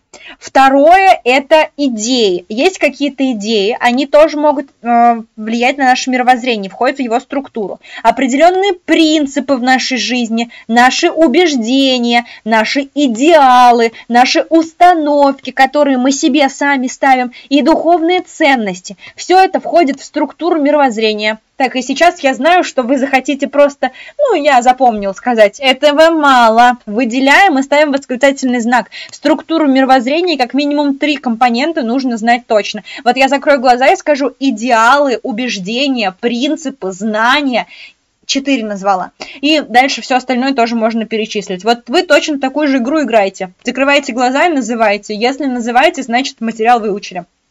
Дальше у нас идут уровни мировоззрения. Смотрите, есть первый уровень обыденно-практический, запишите, пожалуйста, обыденно-практический, а второй уровень теоретический. Точно так же, все очень просто, слова-то знакомые нам. Теоретический, тут теория. А, обыденно-практический, тут смотрите, обыденность, рутина каждый день, и практически практика. Теперь рассказываю. А, когда мы говорим про два уровня мировоззрения, мы имеем в виду что? Вот есть обыденно-практический уровень мировоззрения. Это эмоционально окрашенные взгляды. То есть это все, что связано с нашим мировоззрением и с эмоциями. Когда мы говорим про теоретический уровень мировоззрения, здесь мы уже имеем в виду сложившуюся систему идей, принципов и представлений в нашей голове. Вот, на этом слайде еще раз проясню. Есть определение, его 100% учим, запоминаем. Второе, запоминаем, из чего состоит мировоззрение, то есть его структуру, а также уровни мировоззрения. Кстати, если бы вы сейчас писали план, смотрите, можно было бы 24 задание. Сразу определение мировоззрения, структура мировоззрения перечислили, потом уровни мировоззрения перечислили, и дальше основные типы. И вот это самое интересное. Очень люблю это в теме мировоззрения.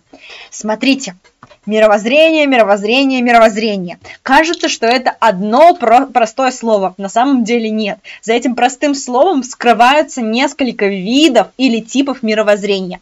Я вам их сейчас назову, все подпишем. Вот в этих колоночках поочередно подписываем. Там, где яблоко, пишем мировоззрение обыденное обыденное или житейское, через слэш, вот такую наклонную палочку. Первое, то есть есть мировоззрение обыденное или житейское.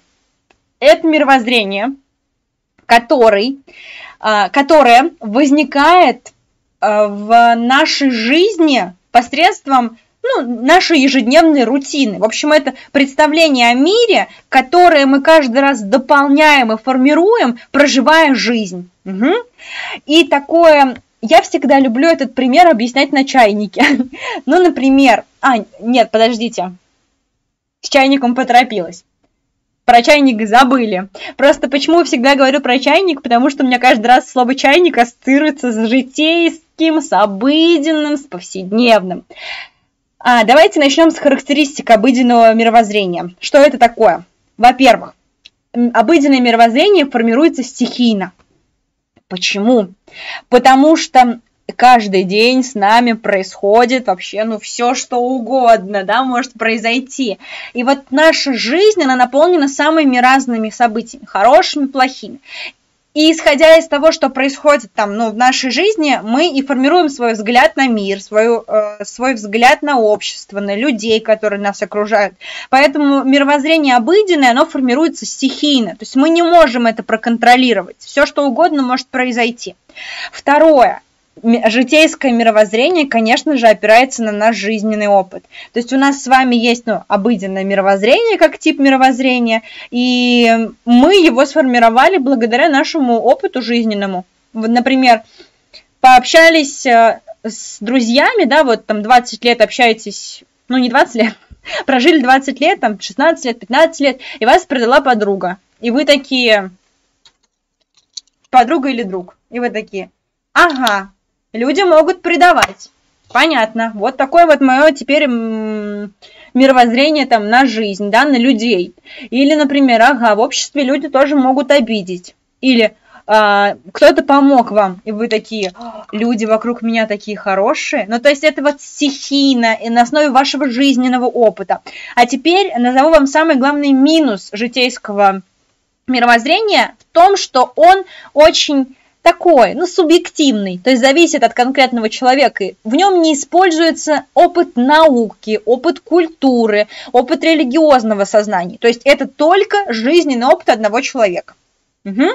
Но при этом э, еще одна особенность, что обыденное мировоззрение очень широко распространено, потому что каждый человек проживает свою жизнь, у каждого человека есть свой взгляд на мир в э, соответствии с его жизненным опытом. С обыденным мировоззрением все понятно, если да, то слово яблоко в чат если понятно, что обыденное мировоззрение – это мировоззрение, которое возникает в повседневной жизни, в процессе личной практической деятельности человека, оно стихийно, опирается на жизненный опыт, широко распространено и при этом не использует опыт науки, культуры и религии.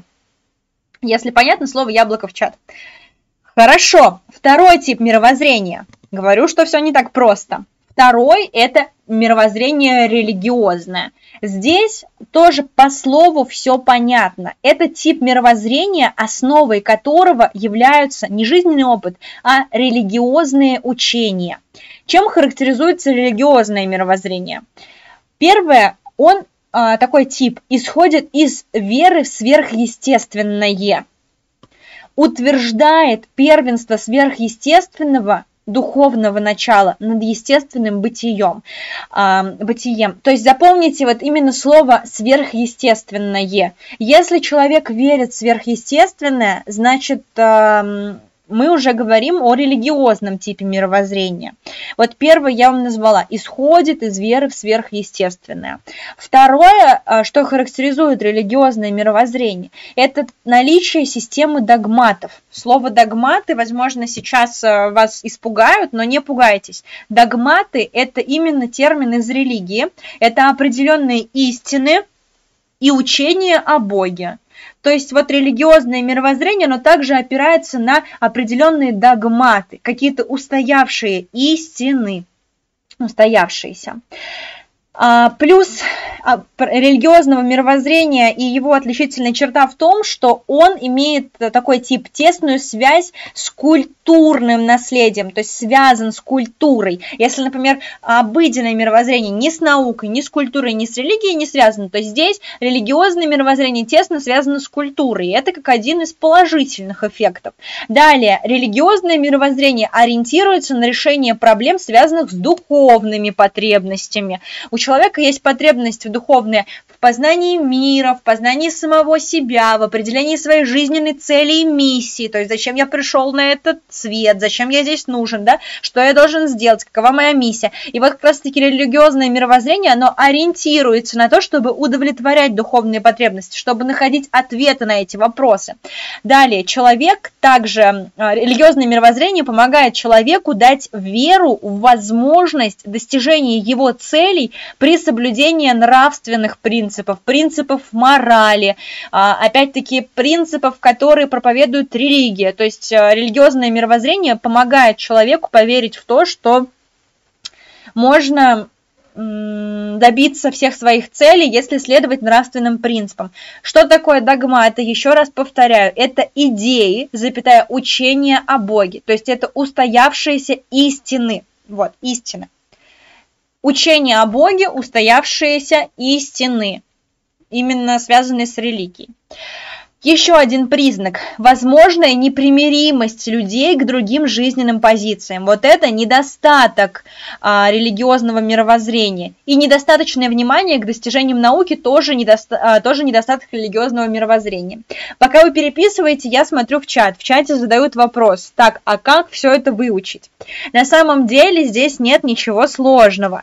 А, вас не заставляют учить все эти там 3, 6, все эти 7 пунктов, да, вам достаточно в целом понять, какие ключевые слова я выделила рыжим цветом, выделить их в скрипте, и самое главное тоже провести параллель с тем, что, ага, вот это, все, что касается сверхъестественного, догматы, нравственные принципы, духовные потребности. Это скорее про религиозное мировоззрение. То есть, если вам в ЕГЭ встретится что-то, вам уже эти признаки по типам мировоззрения назовут, и вам нужно будет определить, к какому а, типу мировоззрения это относится, к а, научному, там, религиозному к обыденному и так далее. Поэтому не бойтесь того, что информации много. А, мы с вами сейчас все это разбираем в деталях, чтобы, если вдруг хоть какое-то слово вам по мировоззрению встретилось, вы точно знали, что ага, у меня в скрипте это есть. А как раз таки что значит плюсы и минусы? Это типа вот как раз-таки, если можно четко выразить достоинства и недостатки религиозного мировоззрения по отношению к любым другим мировоззрениям. Вот, это дополнительная информация. Поэтому вам задание, когда будете делать домашнее задание по этой теме, обязательно перед этим еще раз проанализируйте типы мировоззрения. Посмотрите на них вот после того, как у вас отдохнет внутри, да, ваша внутреннее я отдохнет, и вы потом прочитаете еще раз основные типы мировоззрения. Фух, так, Арин, убери, пожалуйста, из чата лишнюю информацию. А мы погнали с вами научное мировоззрение дальше разбирать. Итак, научное мировоззрение. Здесь в основе, конечно же, сразу слово наука мы видим. Это тип мировоззрения, основу которого, как все догадались, составляет научная картина мира, обобщенные итоги достижения человеческого познания. По признакам пробежимся. А научное мировоззрение всегда опирается на науку. Научное мировоззрение всегда объективно, то есть не зависит от моего мнения, от мнения любого другого человека, то есть не зависит от человека. Далее, научное мировоззрение всегда построено на логике, на закономерностях, на рациональности. Также мировоззрение научное включает в себя, ну, науку, научную картину мира, это мы назвали. А, включает в себя обобщенные итоги достижения человеческого познания, также всегда обоснованно любые, обоснованы любые знания. Кто-то очень хочет нам эм, рассылку какую-то сделать, нужно этот чат почистить от этого человека и, да, посмеяться просто. Не обращать внимания, а просто посмеяться, а сконцентрировать весь свой э, момент познания на научном мировоззрении. Далее у нас научное мировоззрение всегда ставит перед собой какие-то определенные реальные цели и идеалы. Ограни... И э, есть один минус – том, что как бы научное мировоззрение, ну, знаете, всегда, но не бывает всего идеального. И вот в научном мировоззрении тоже есть такой момент, как недостаточная изученность человека, человечности, человечества. То есть это все еще, ну, в целом, наука, да, мы говорим, наука объективно, рационально, логично, но есть но. Недостаточно все-таки изучен сам человек. А, так, да, конечно, Лиза, все, я здесь, я не спешу, я выдыхаю. Научное мировоззрение. Все основные признаки я назвала. Мы их сейчас переписываем. Так, а можно ли писать в план характеристики? Вообще, если будет э, сам план по мировоззрению, то нужно будет назвать следующее. Вот согласно прямо скрипту идем. Определение мировоззрения. Раскрывать не нужно, просто написать определение. Структура мировоззрения. Раскрываем. Уровни мировоззрения. Раскрываем. Типы мировоззрения. Раскрываем. А, по характеристикам, наверное, только если есть время, потому что в целом структура, уровни, виды мировоззрения, мы сейчас еще классификации и роль мировоззрения, уже пять пунктов раскрытых, поэтому думаю, что смысла в этом в принципе нет. Итак, пока э, я рассуждала, уверена, что э, вы записали признаки научного мировоззрения, я еще раз по основным пробегусь, потому что мой чат просто взорвался от слова «мурк». Все говорят «успокойся, не торопись, мы же записываем». Итак, Научное мировоззрение, в отличие от религии и от обыденного э, мировоззрения, опирается на достижения науки. Также оно не зависит от мнения конкретных людей, оно объективно.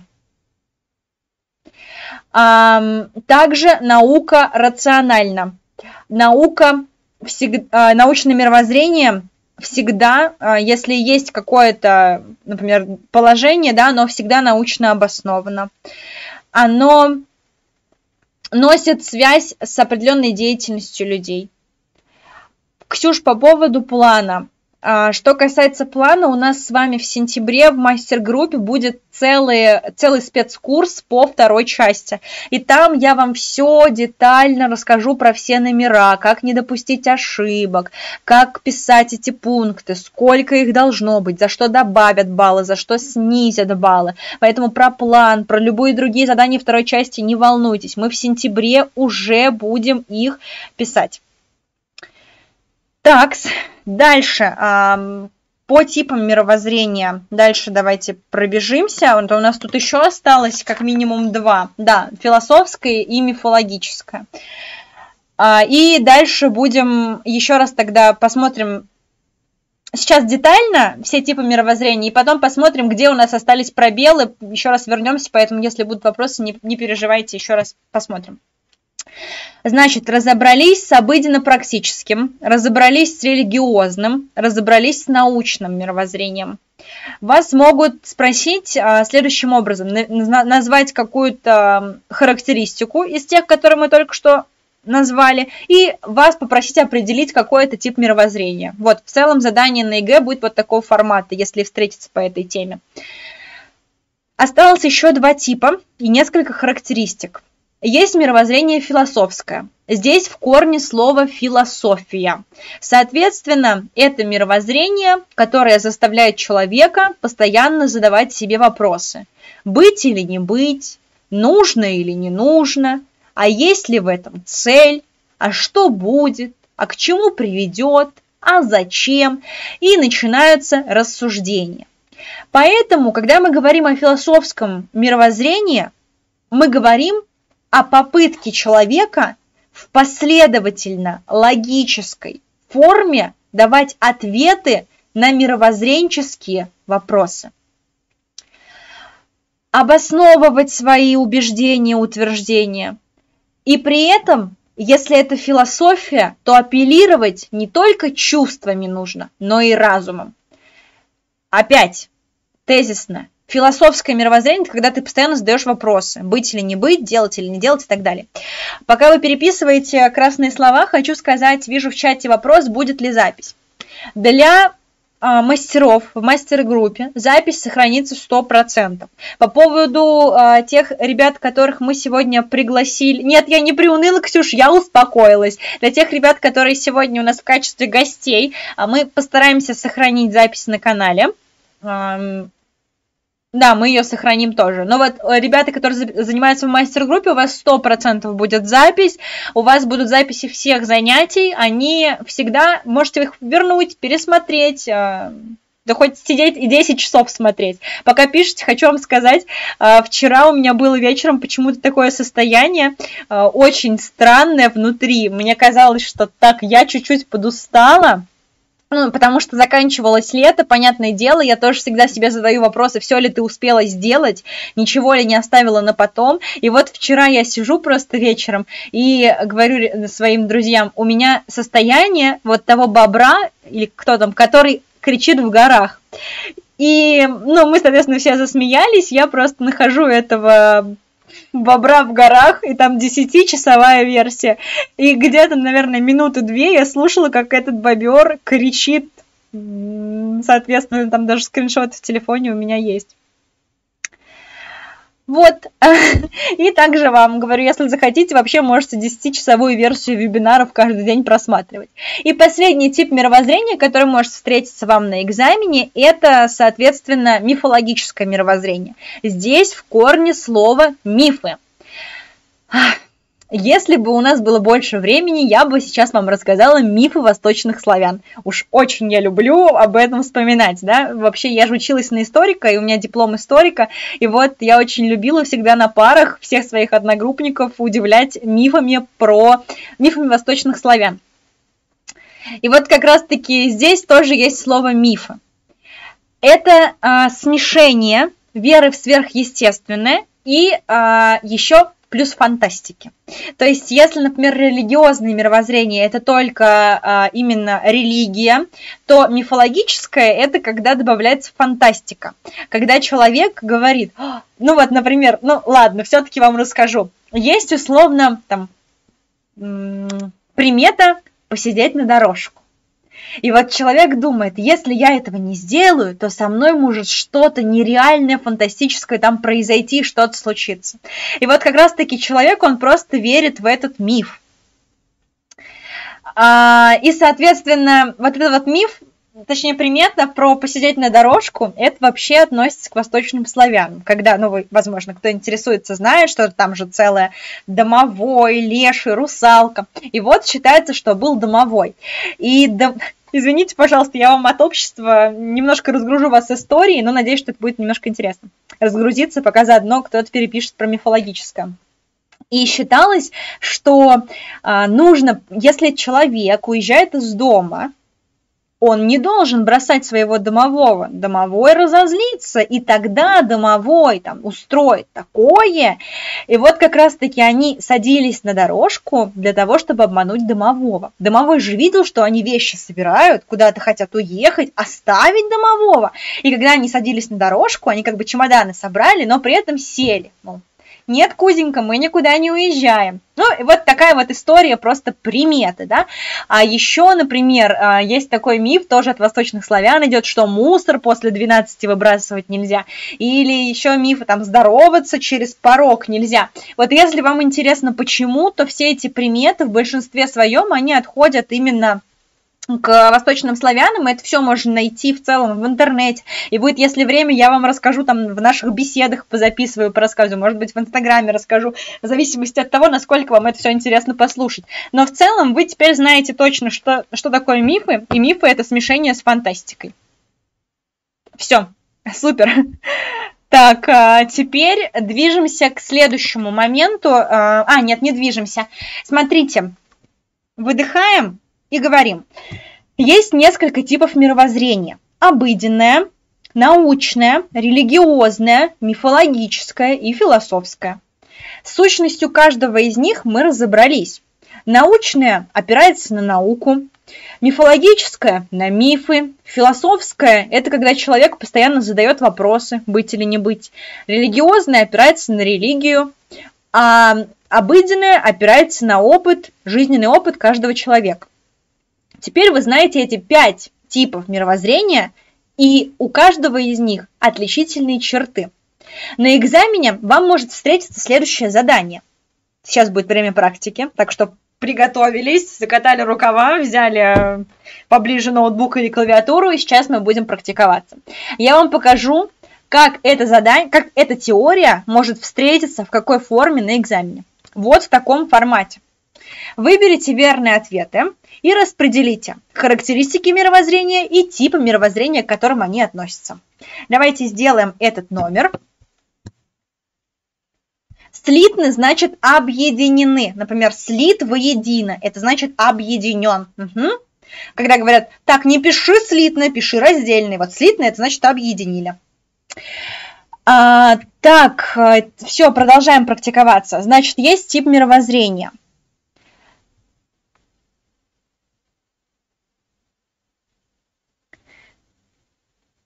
Извините, я просто обратилась в чат. Э, очень интересный вопрос. Так, меня зовут Оля, для тех, кто присоединился в самом конце. Я преподаватель обществознаний. Так как у нас сейчас занятие по обществознанию, соответственно, э, именно я его и веду.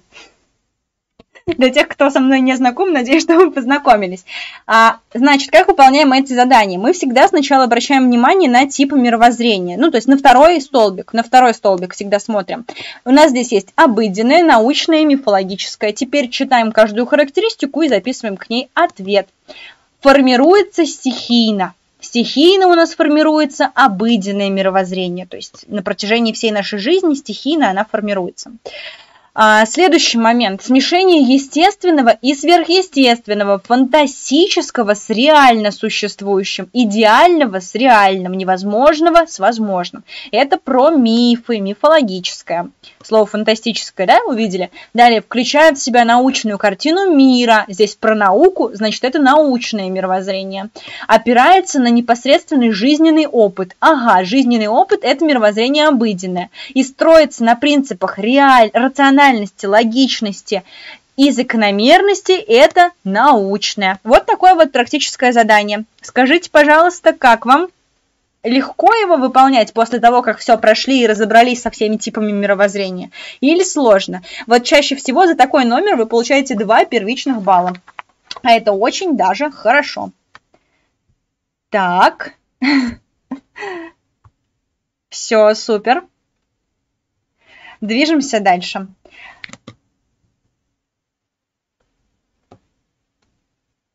Угу. Следующий момент, тоже связанный с мировоззрением, у нас есть так называемая классификация типов мировоззрения в зависимости от высшей ценности.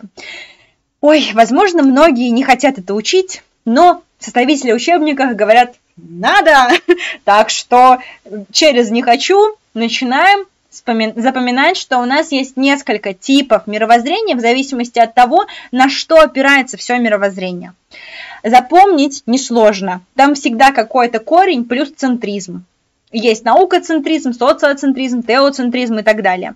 Только сейчас нужно точно а, все это подзапомнить. Смотрите, если в центре мировоззрения Бог и религия, то есть все строится, весь мир, общество, люди, все зависит от Бога, если мировоззрение основано на это, то такое мировоззрение называется теоцентризм. Запомните. И прямо сейчас это слово чаще всего вылетает из головы теоцентризм. Проговорите со мной. Теоцентризм. Теоцентризм теоцентризм. Это мировоззрение, где приоритет отдается Богу. Я училась на историка, и на первом курсе философии мы говорили о теоцентризме. Я прямо помню, мне еще как раз там я сто процентов запомнила, что тео это сразу связанное с Богом и с религией. Потому что у меня был какой-то семинар, и мне как раз нужно было про теоцентризм рассказать, а у нас преподаватель философии, он, знаете, очень интересный. Опять, правда, про жизнь рассказываю, но сейчас расскажу. До этого мы, мы говорили про типы мировоззрений, а сейчас мы говорим по классификации. Там, там мы разбирали основные типы, а сейчас мы говорим про классификацию типов мировоззрения в зависимости от высшей ценности. Вот. И вот у нас как раз-таки был а, преподаватель, который очень следил за тем, а, как мы учим а, философию через все эти пункты. Мы точно так же все разбирали. Сначала философию про Бога, потом философию про природу, про человека и про знание. Вот так вот мы разбирали философию. Итак, теоцентризм. Запомнили, это когда приоритет отдается Богу. Далее идет природоцентризм. Тоже очень легко, это когда приоритет отдается природе. Далее у нас идет э, антропоцентризм. Антропа – это когда в центре всей, э, всего мировоззрения в центре вообще всего мира находится человек. Дальше, если в центре всего, всего мировоззрения находится э, общество, то это социоцентризм. Социо. Запомните, человек это антропоцентризм, социо это э, общество это социоцентризм. И если у нас знание и науки, то здесь знание-центризм и наук-центризм. Друзья, да, сегодня очень большая тема. Мы даже когда составляли э, скрипт, потом с ребятами из команды говорили, главное никого не напугать объемом информации. Но это не все темы такие большие, э, так что выдыхайте и не переживайте. Это ж мы сегодня, к первому сентября, так хорошо поработали. Итак, небольшой интерактивчик. Теперь вы знаете, что есть теоцентризм, природоцентризм, наукоцентризм, знаниецентризм и социоцентризм. Я показываю вам на картинке, а, соответственно, точнее, картинку на экране. Пишите, пожалуйста, что это. Какой э, тип мировоззрения в зависимости от высшей ценности. Итак, если мы, еще раз на предыдущий слайд, если мы в центре всего мировоззрения, в центре, в принципе, всего ставим природу, то это называется как? Угу, переписывайте. А те, кто готовы уже к интерактивчику, если в центре всего мы с вами размещаем... Так, все, я поторопила всех, и вы не успели переписать, все нормально. Тогда еще раз прокомментирую. Есть теоцентризм, это когда в центре Бог. Есть природоцентризм, это когда в центре природа. Есть антропоцентризм, когда в центре человек. Социоцентризм, когда в центре общ... э, общество. И наукоцентризм, когда в центре наука. Все. Так, кто не успел, останавливаем, а мы к интерактивщику.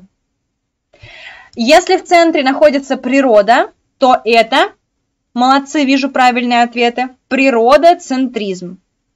Если в центре находится человек, то это антропоцентризм. Если в центре находится знание, то это знание, центризм. Если в центре находится Бог, то это теоцентризм. Ой, даже не отчитала, теоцентризм. Хорошо.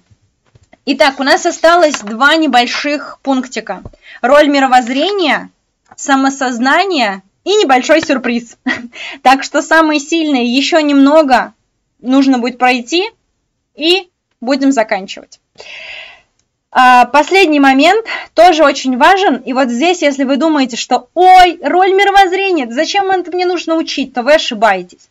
В задании во второй части, в 19 в 20 например, вам могут задать вопрос Распишите роль мировоззрения в жизни человека. И если вы сейчас подумаете, что «Ой, да мне это не нужно», то что вы будете писать на экзамене? Поэтому собрались и давайте вместе обсудим как же мировоззрение влияет на деятельность и какую роль для человека оно составляет. Итак, первое. Прямо запоминаем эти фразы. Мировоззрение дает человеку ориентиры и цели для его деятельности. То есть у каждого из нас есть мировоззрение. Мы видим мир определенным образом.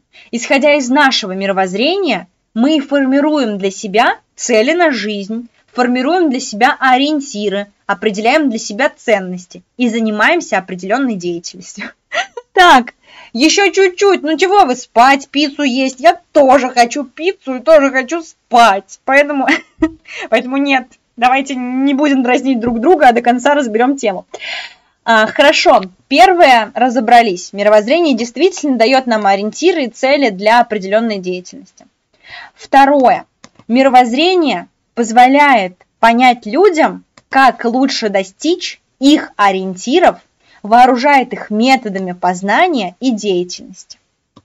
То есть мировоззрение не просто нам дает ориентиры, это первое, что делает мировоззрение. Второе, согласно э, мировоззрению, мы сразу же понимаем, как эту цель достигать, какими методами, какими способами. Это вторая роль мировоззрения. Ну, один из э, примеров роли. Третье. Сейчас все будут писать Мурк, Мурк, не успеваем, не успеваем. Мурк, Мурк, Мурк, Мурк, Мурк, Мурк.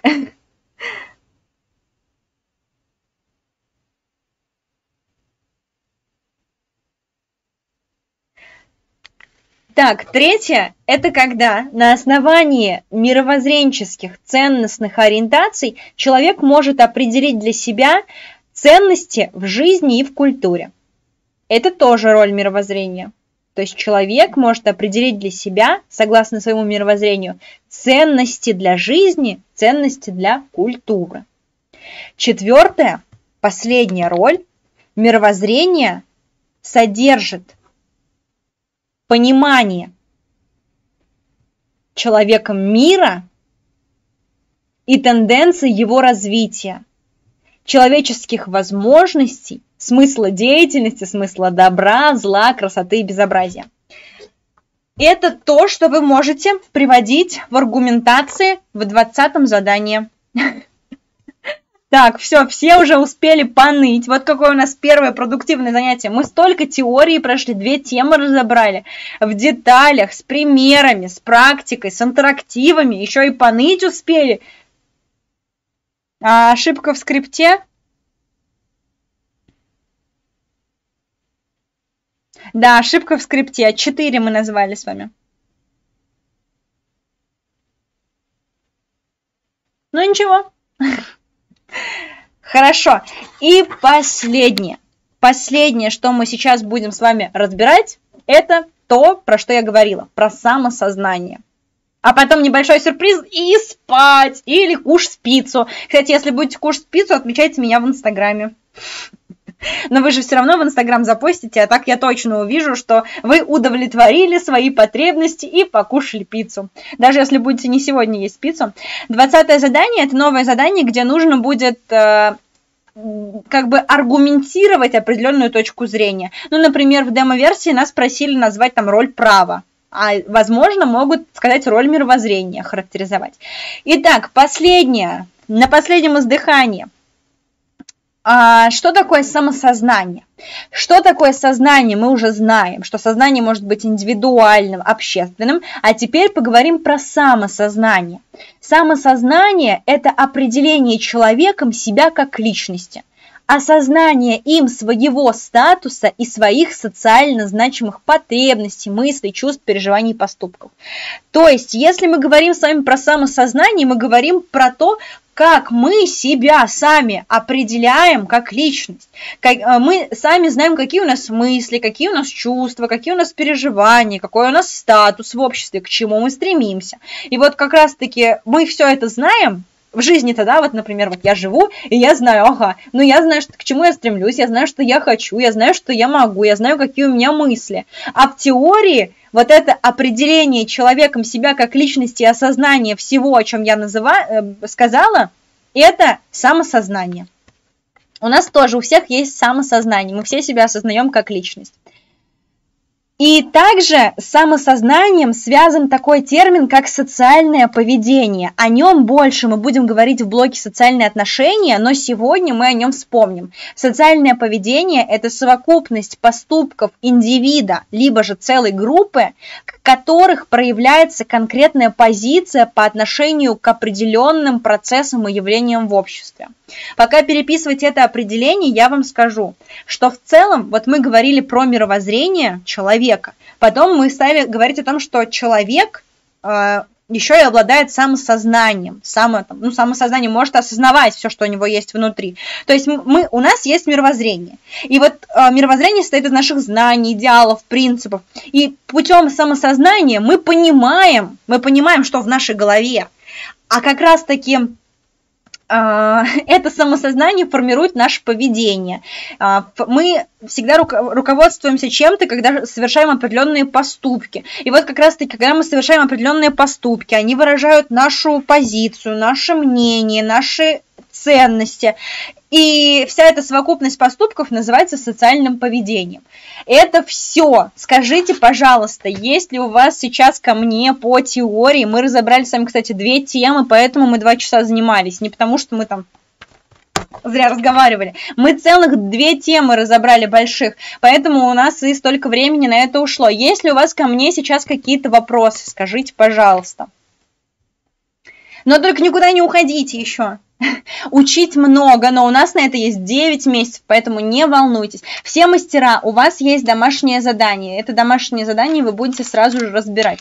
Итак, ребята, короче, но сегодня же 1 сентября. Сегодня а, праздник. Причем у нас вообще особенный праздник. У нас стартовала сегодня полноценная мастер-группа. Мы все собрались, мы разобрали две, две темы со скриптами, с практикой, с интерактивом. И поэтому я сегодня сделала себе подарок. Вот так вот я его красиво упаковала. И тут вот посмотрите, у кого есть э, такие особенные способности, попробуйте предположить, какой подарок себе и всем нам я сделала. Так, ну тут я немножко криво упаковала, ну ладно. Как вы думаете, какой это подарок э, спрятан? Что скрывается в этом конверте? Это очень смешно, предположите. Вот такой вот у нас праздник сейчас будет, праздничный интерактив. Хочу сказать честно, я вообще э, хотела придумать э, такую штучку с педагогической птицей и рассказать вам, что мне подарок подарила педагогическая птица. Но нет, подарок я подарила себе сама, Да, это книга, но не простая книга, а книга какая-то интересная. Как вы думаете, какая? Пока я вскрываю этот конверт. Для чего вообще сегодня... Это, кстати, еще не все. У нас сейчас несколько минут такого праздника. Я хочу устроить нам действительно праздник, потому что у нас сегодня праздник знаний. Мы вообще столько всего э, разобрали на занятии. У нас реально у нас реально хорошее настроение, праздник, желание учиться сейчас должно быть на высшем уровне. Да, это учебник Боголюбова. по обществознанию. Все правильно, друзья. Вот такие подарки мы должны сейчас, а, точнее, мне этот подарок очень нужен, нам очень нужны учебники. Вам же, ребята, нужны только скрипты, потому что мы стараемся а, все из учебников переводить в формат конспектов. В общем, этот учебник должен был обозначать для нас небольшой праздник. Еще а, я приготовила бенгальский огонек. Я хочу, чтобы мы все сейчас с вами загадали желание – и потом зажгли вместо свечки этот бенгальский огонек. Правда, я очень сильно волнуюсь, потому что я одна дома, я боюсь бенгальских огней, но надеюсь, что все будет хорошо. А, давайте сейчас напишем в чат а, свое желание, ну, то, которое можете сказать. Если у вас какое-то скрытое желание, напишите его под звездочками. Вообще, а, когда мы загадываем какие-то желания, о них лучше говорить, потому что наш мозг слышит, и мы уже желание переводим в цель. Напишите, какие у вас есть э, сейчас желания. Э, абсолютно все. Я хочу это все прочитать, посмотреть, какие желания, ожидания на год, может быть, какие-то цели. Вот, например, мое желание это чтобы каждый из вас не ленился, каждый из вас учился, у каждого из вас э, все получалось, запоминались все определения, всегда было время на учебу, всегда э, было понимание темы, чтобы вы всегда могли написать план по всем темам, чтобы вы не боялись изменений в ЕГЭ, чтобы каждый из вас написал экзамен на тот балл, на который он хочет написать. Я не говорю, чтобы все написали на 100, это невозможно. Я говорю, чтобы каждый из вас, самое главное, сделал хорошо себе. То есть, если вы сейчас хотите написать на 100, я хочу, чтобы ваше желание сбылось. Если хотите написать на 80, пусть оно сбудется. Хотите перейти порог, возможно, для кого-то это тоже цель, и этого будет достаточно. Пусть и эта цель сбудется. А, озвучу ваши желания, и после этого мы вместе зажгем, зажигалочка будет, огоньки. Каждый из вас, конечно же, хочет сдать экзамен, чтобы все желания сбывались, победить на Всероссийской Олимпиаде, сдать на 100 по истории обществознания, дойти до конца, вот это тоже очень классно, это, пусть это желание станет целью для вас, не сдавайтесь, если вы сейчас уже пришли на первое занятие, вы уже начали учиться, пожалуйста, не сходите с этого пути, учитесь дальше, если когда-то будет сложно, Помните всегда, что все сложности преодолеваются, и вы работаете над собой, и все ваши э, желания, они должны сбываться. Вы хотите не выгореть, сдать на высокий балл, поступить на бюджет, не сломать себе психику, сдать экзамен, научиться жить без сна, э, сдать на права с первого раза, на 105 баллов сдать, ну, тоже какую-то крутую книжку себе получить, да, Сотку по всем экзаменам. Отлично. Мы сейчас все наши желания прописали, озвучили. Каждый из вас теперь эту цель, э, для, это желание превратил в свою цель. Я тоже озвучила свои желания, свои ожидания от учебного года. И чтобы сейчас не просто разойтись и сказать всем пока, давайте э, очень красиво я попробую зажечь бенгальский огонек, и пусть все наши желания, которые мы только что сказали, сбудутся, еще раз можно их проговаривать, пока этот бенгальский огонек горит. Ой, такое, конечно, радужное настроение. Самое главное, чтобы ничего не загорелось. Все, это прекрасное начало учебного года, точно. Я первый раз так начинаю свой учебный год с такого яркого события.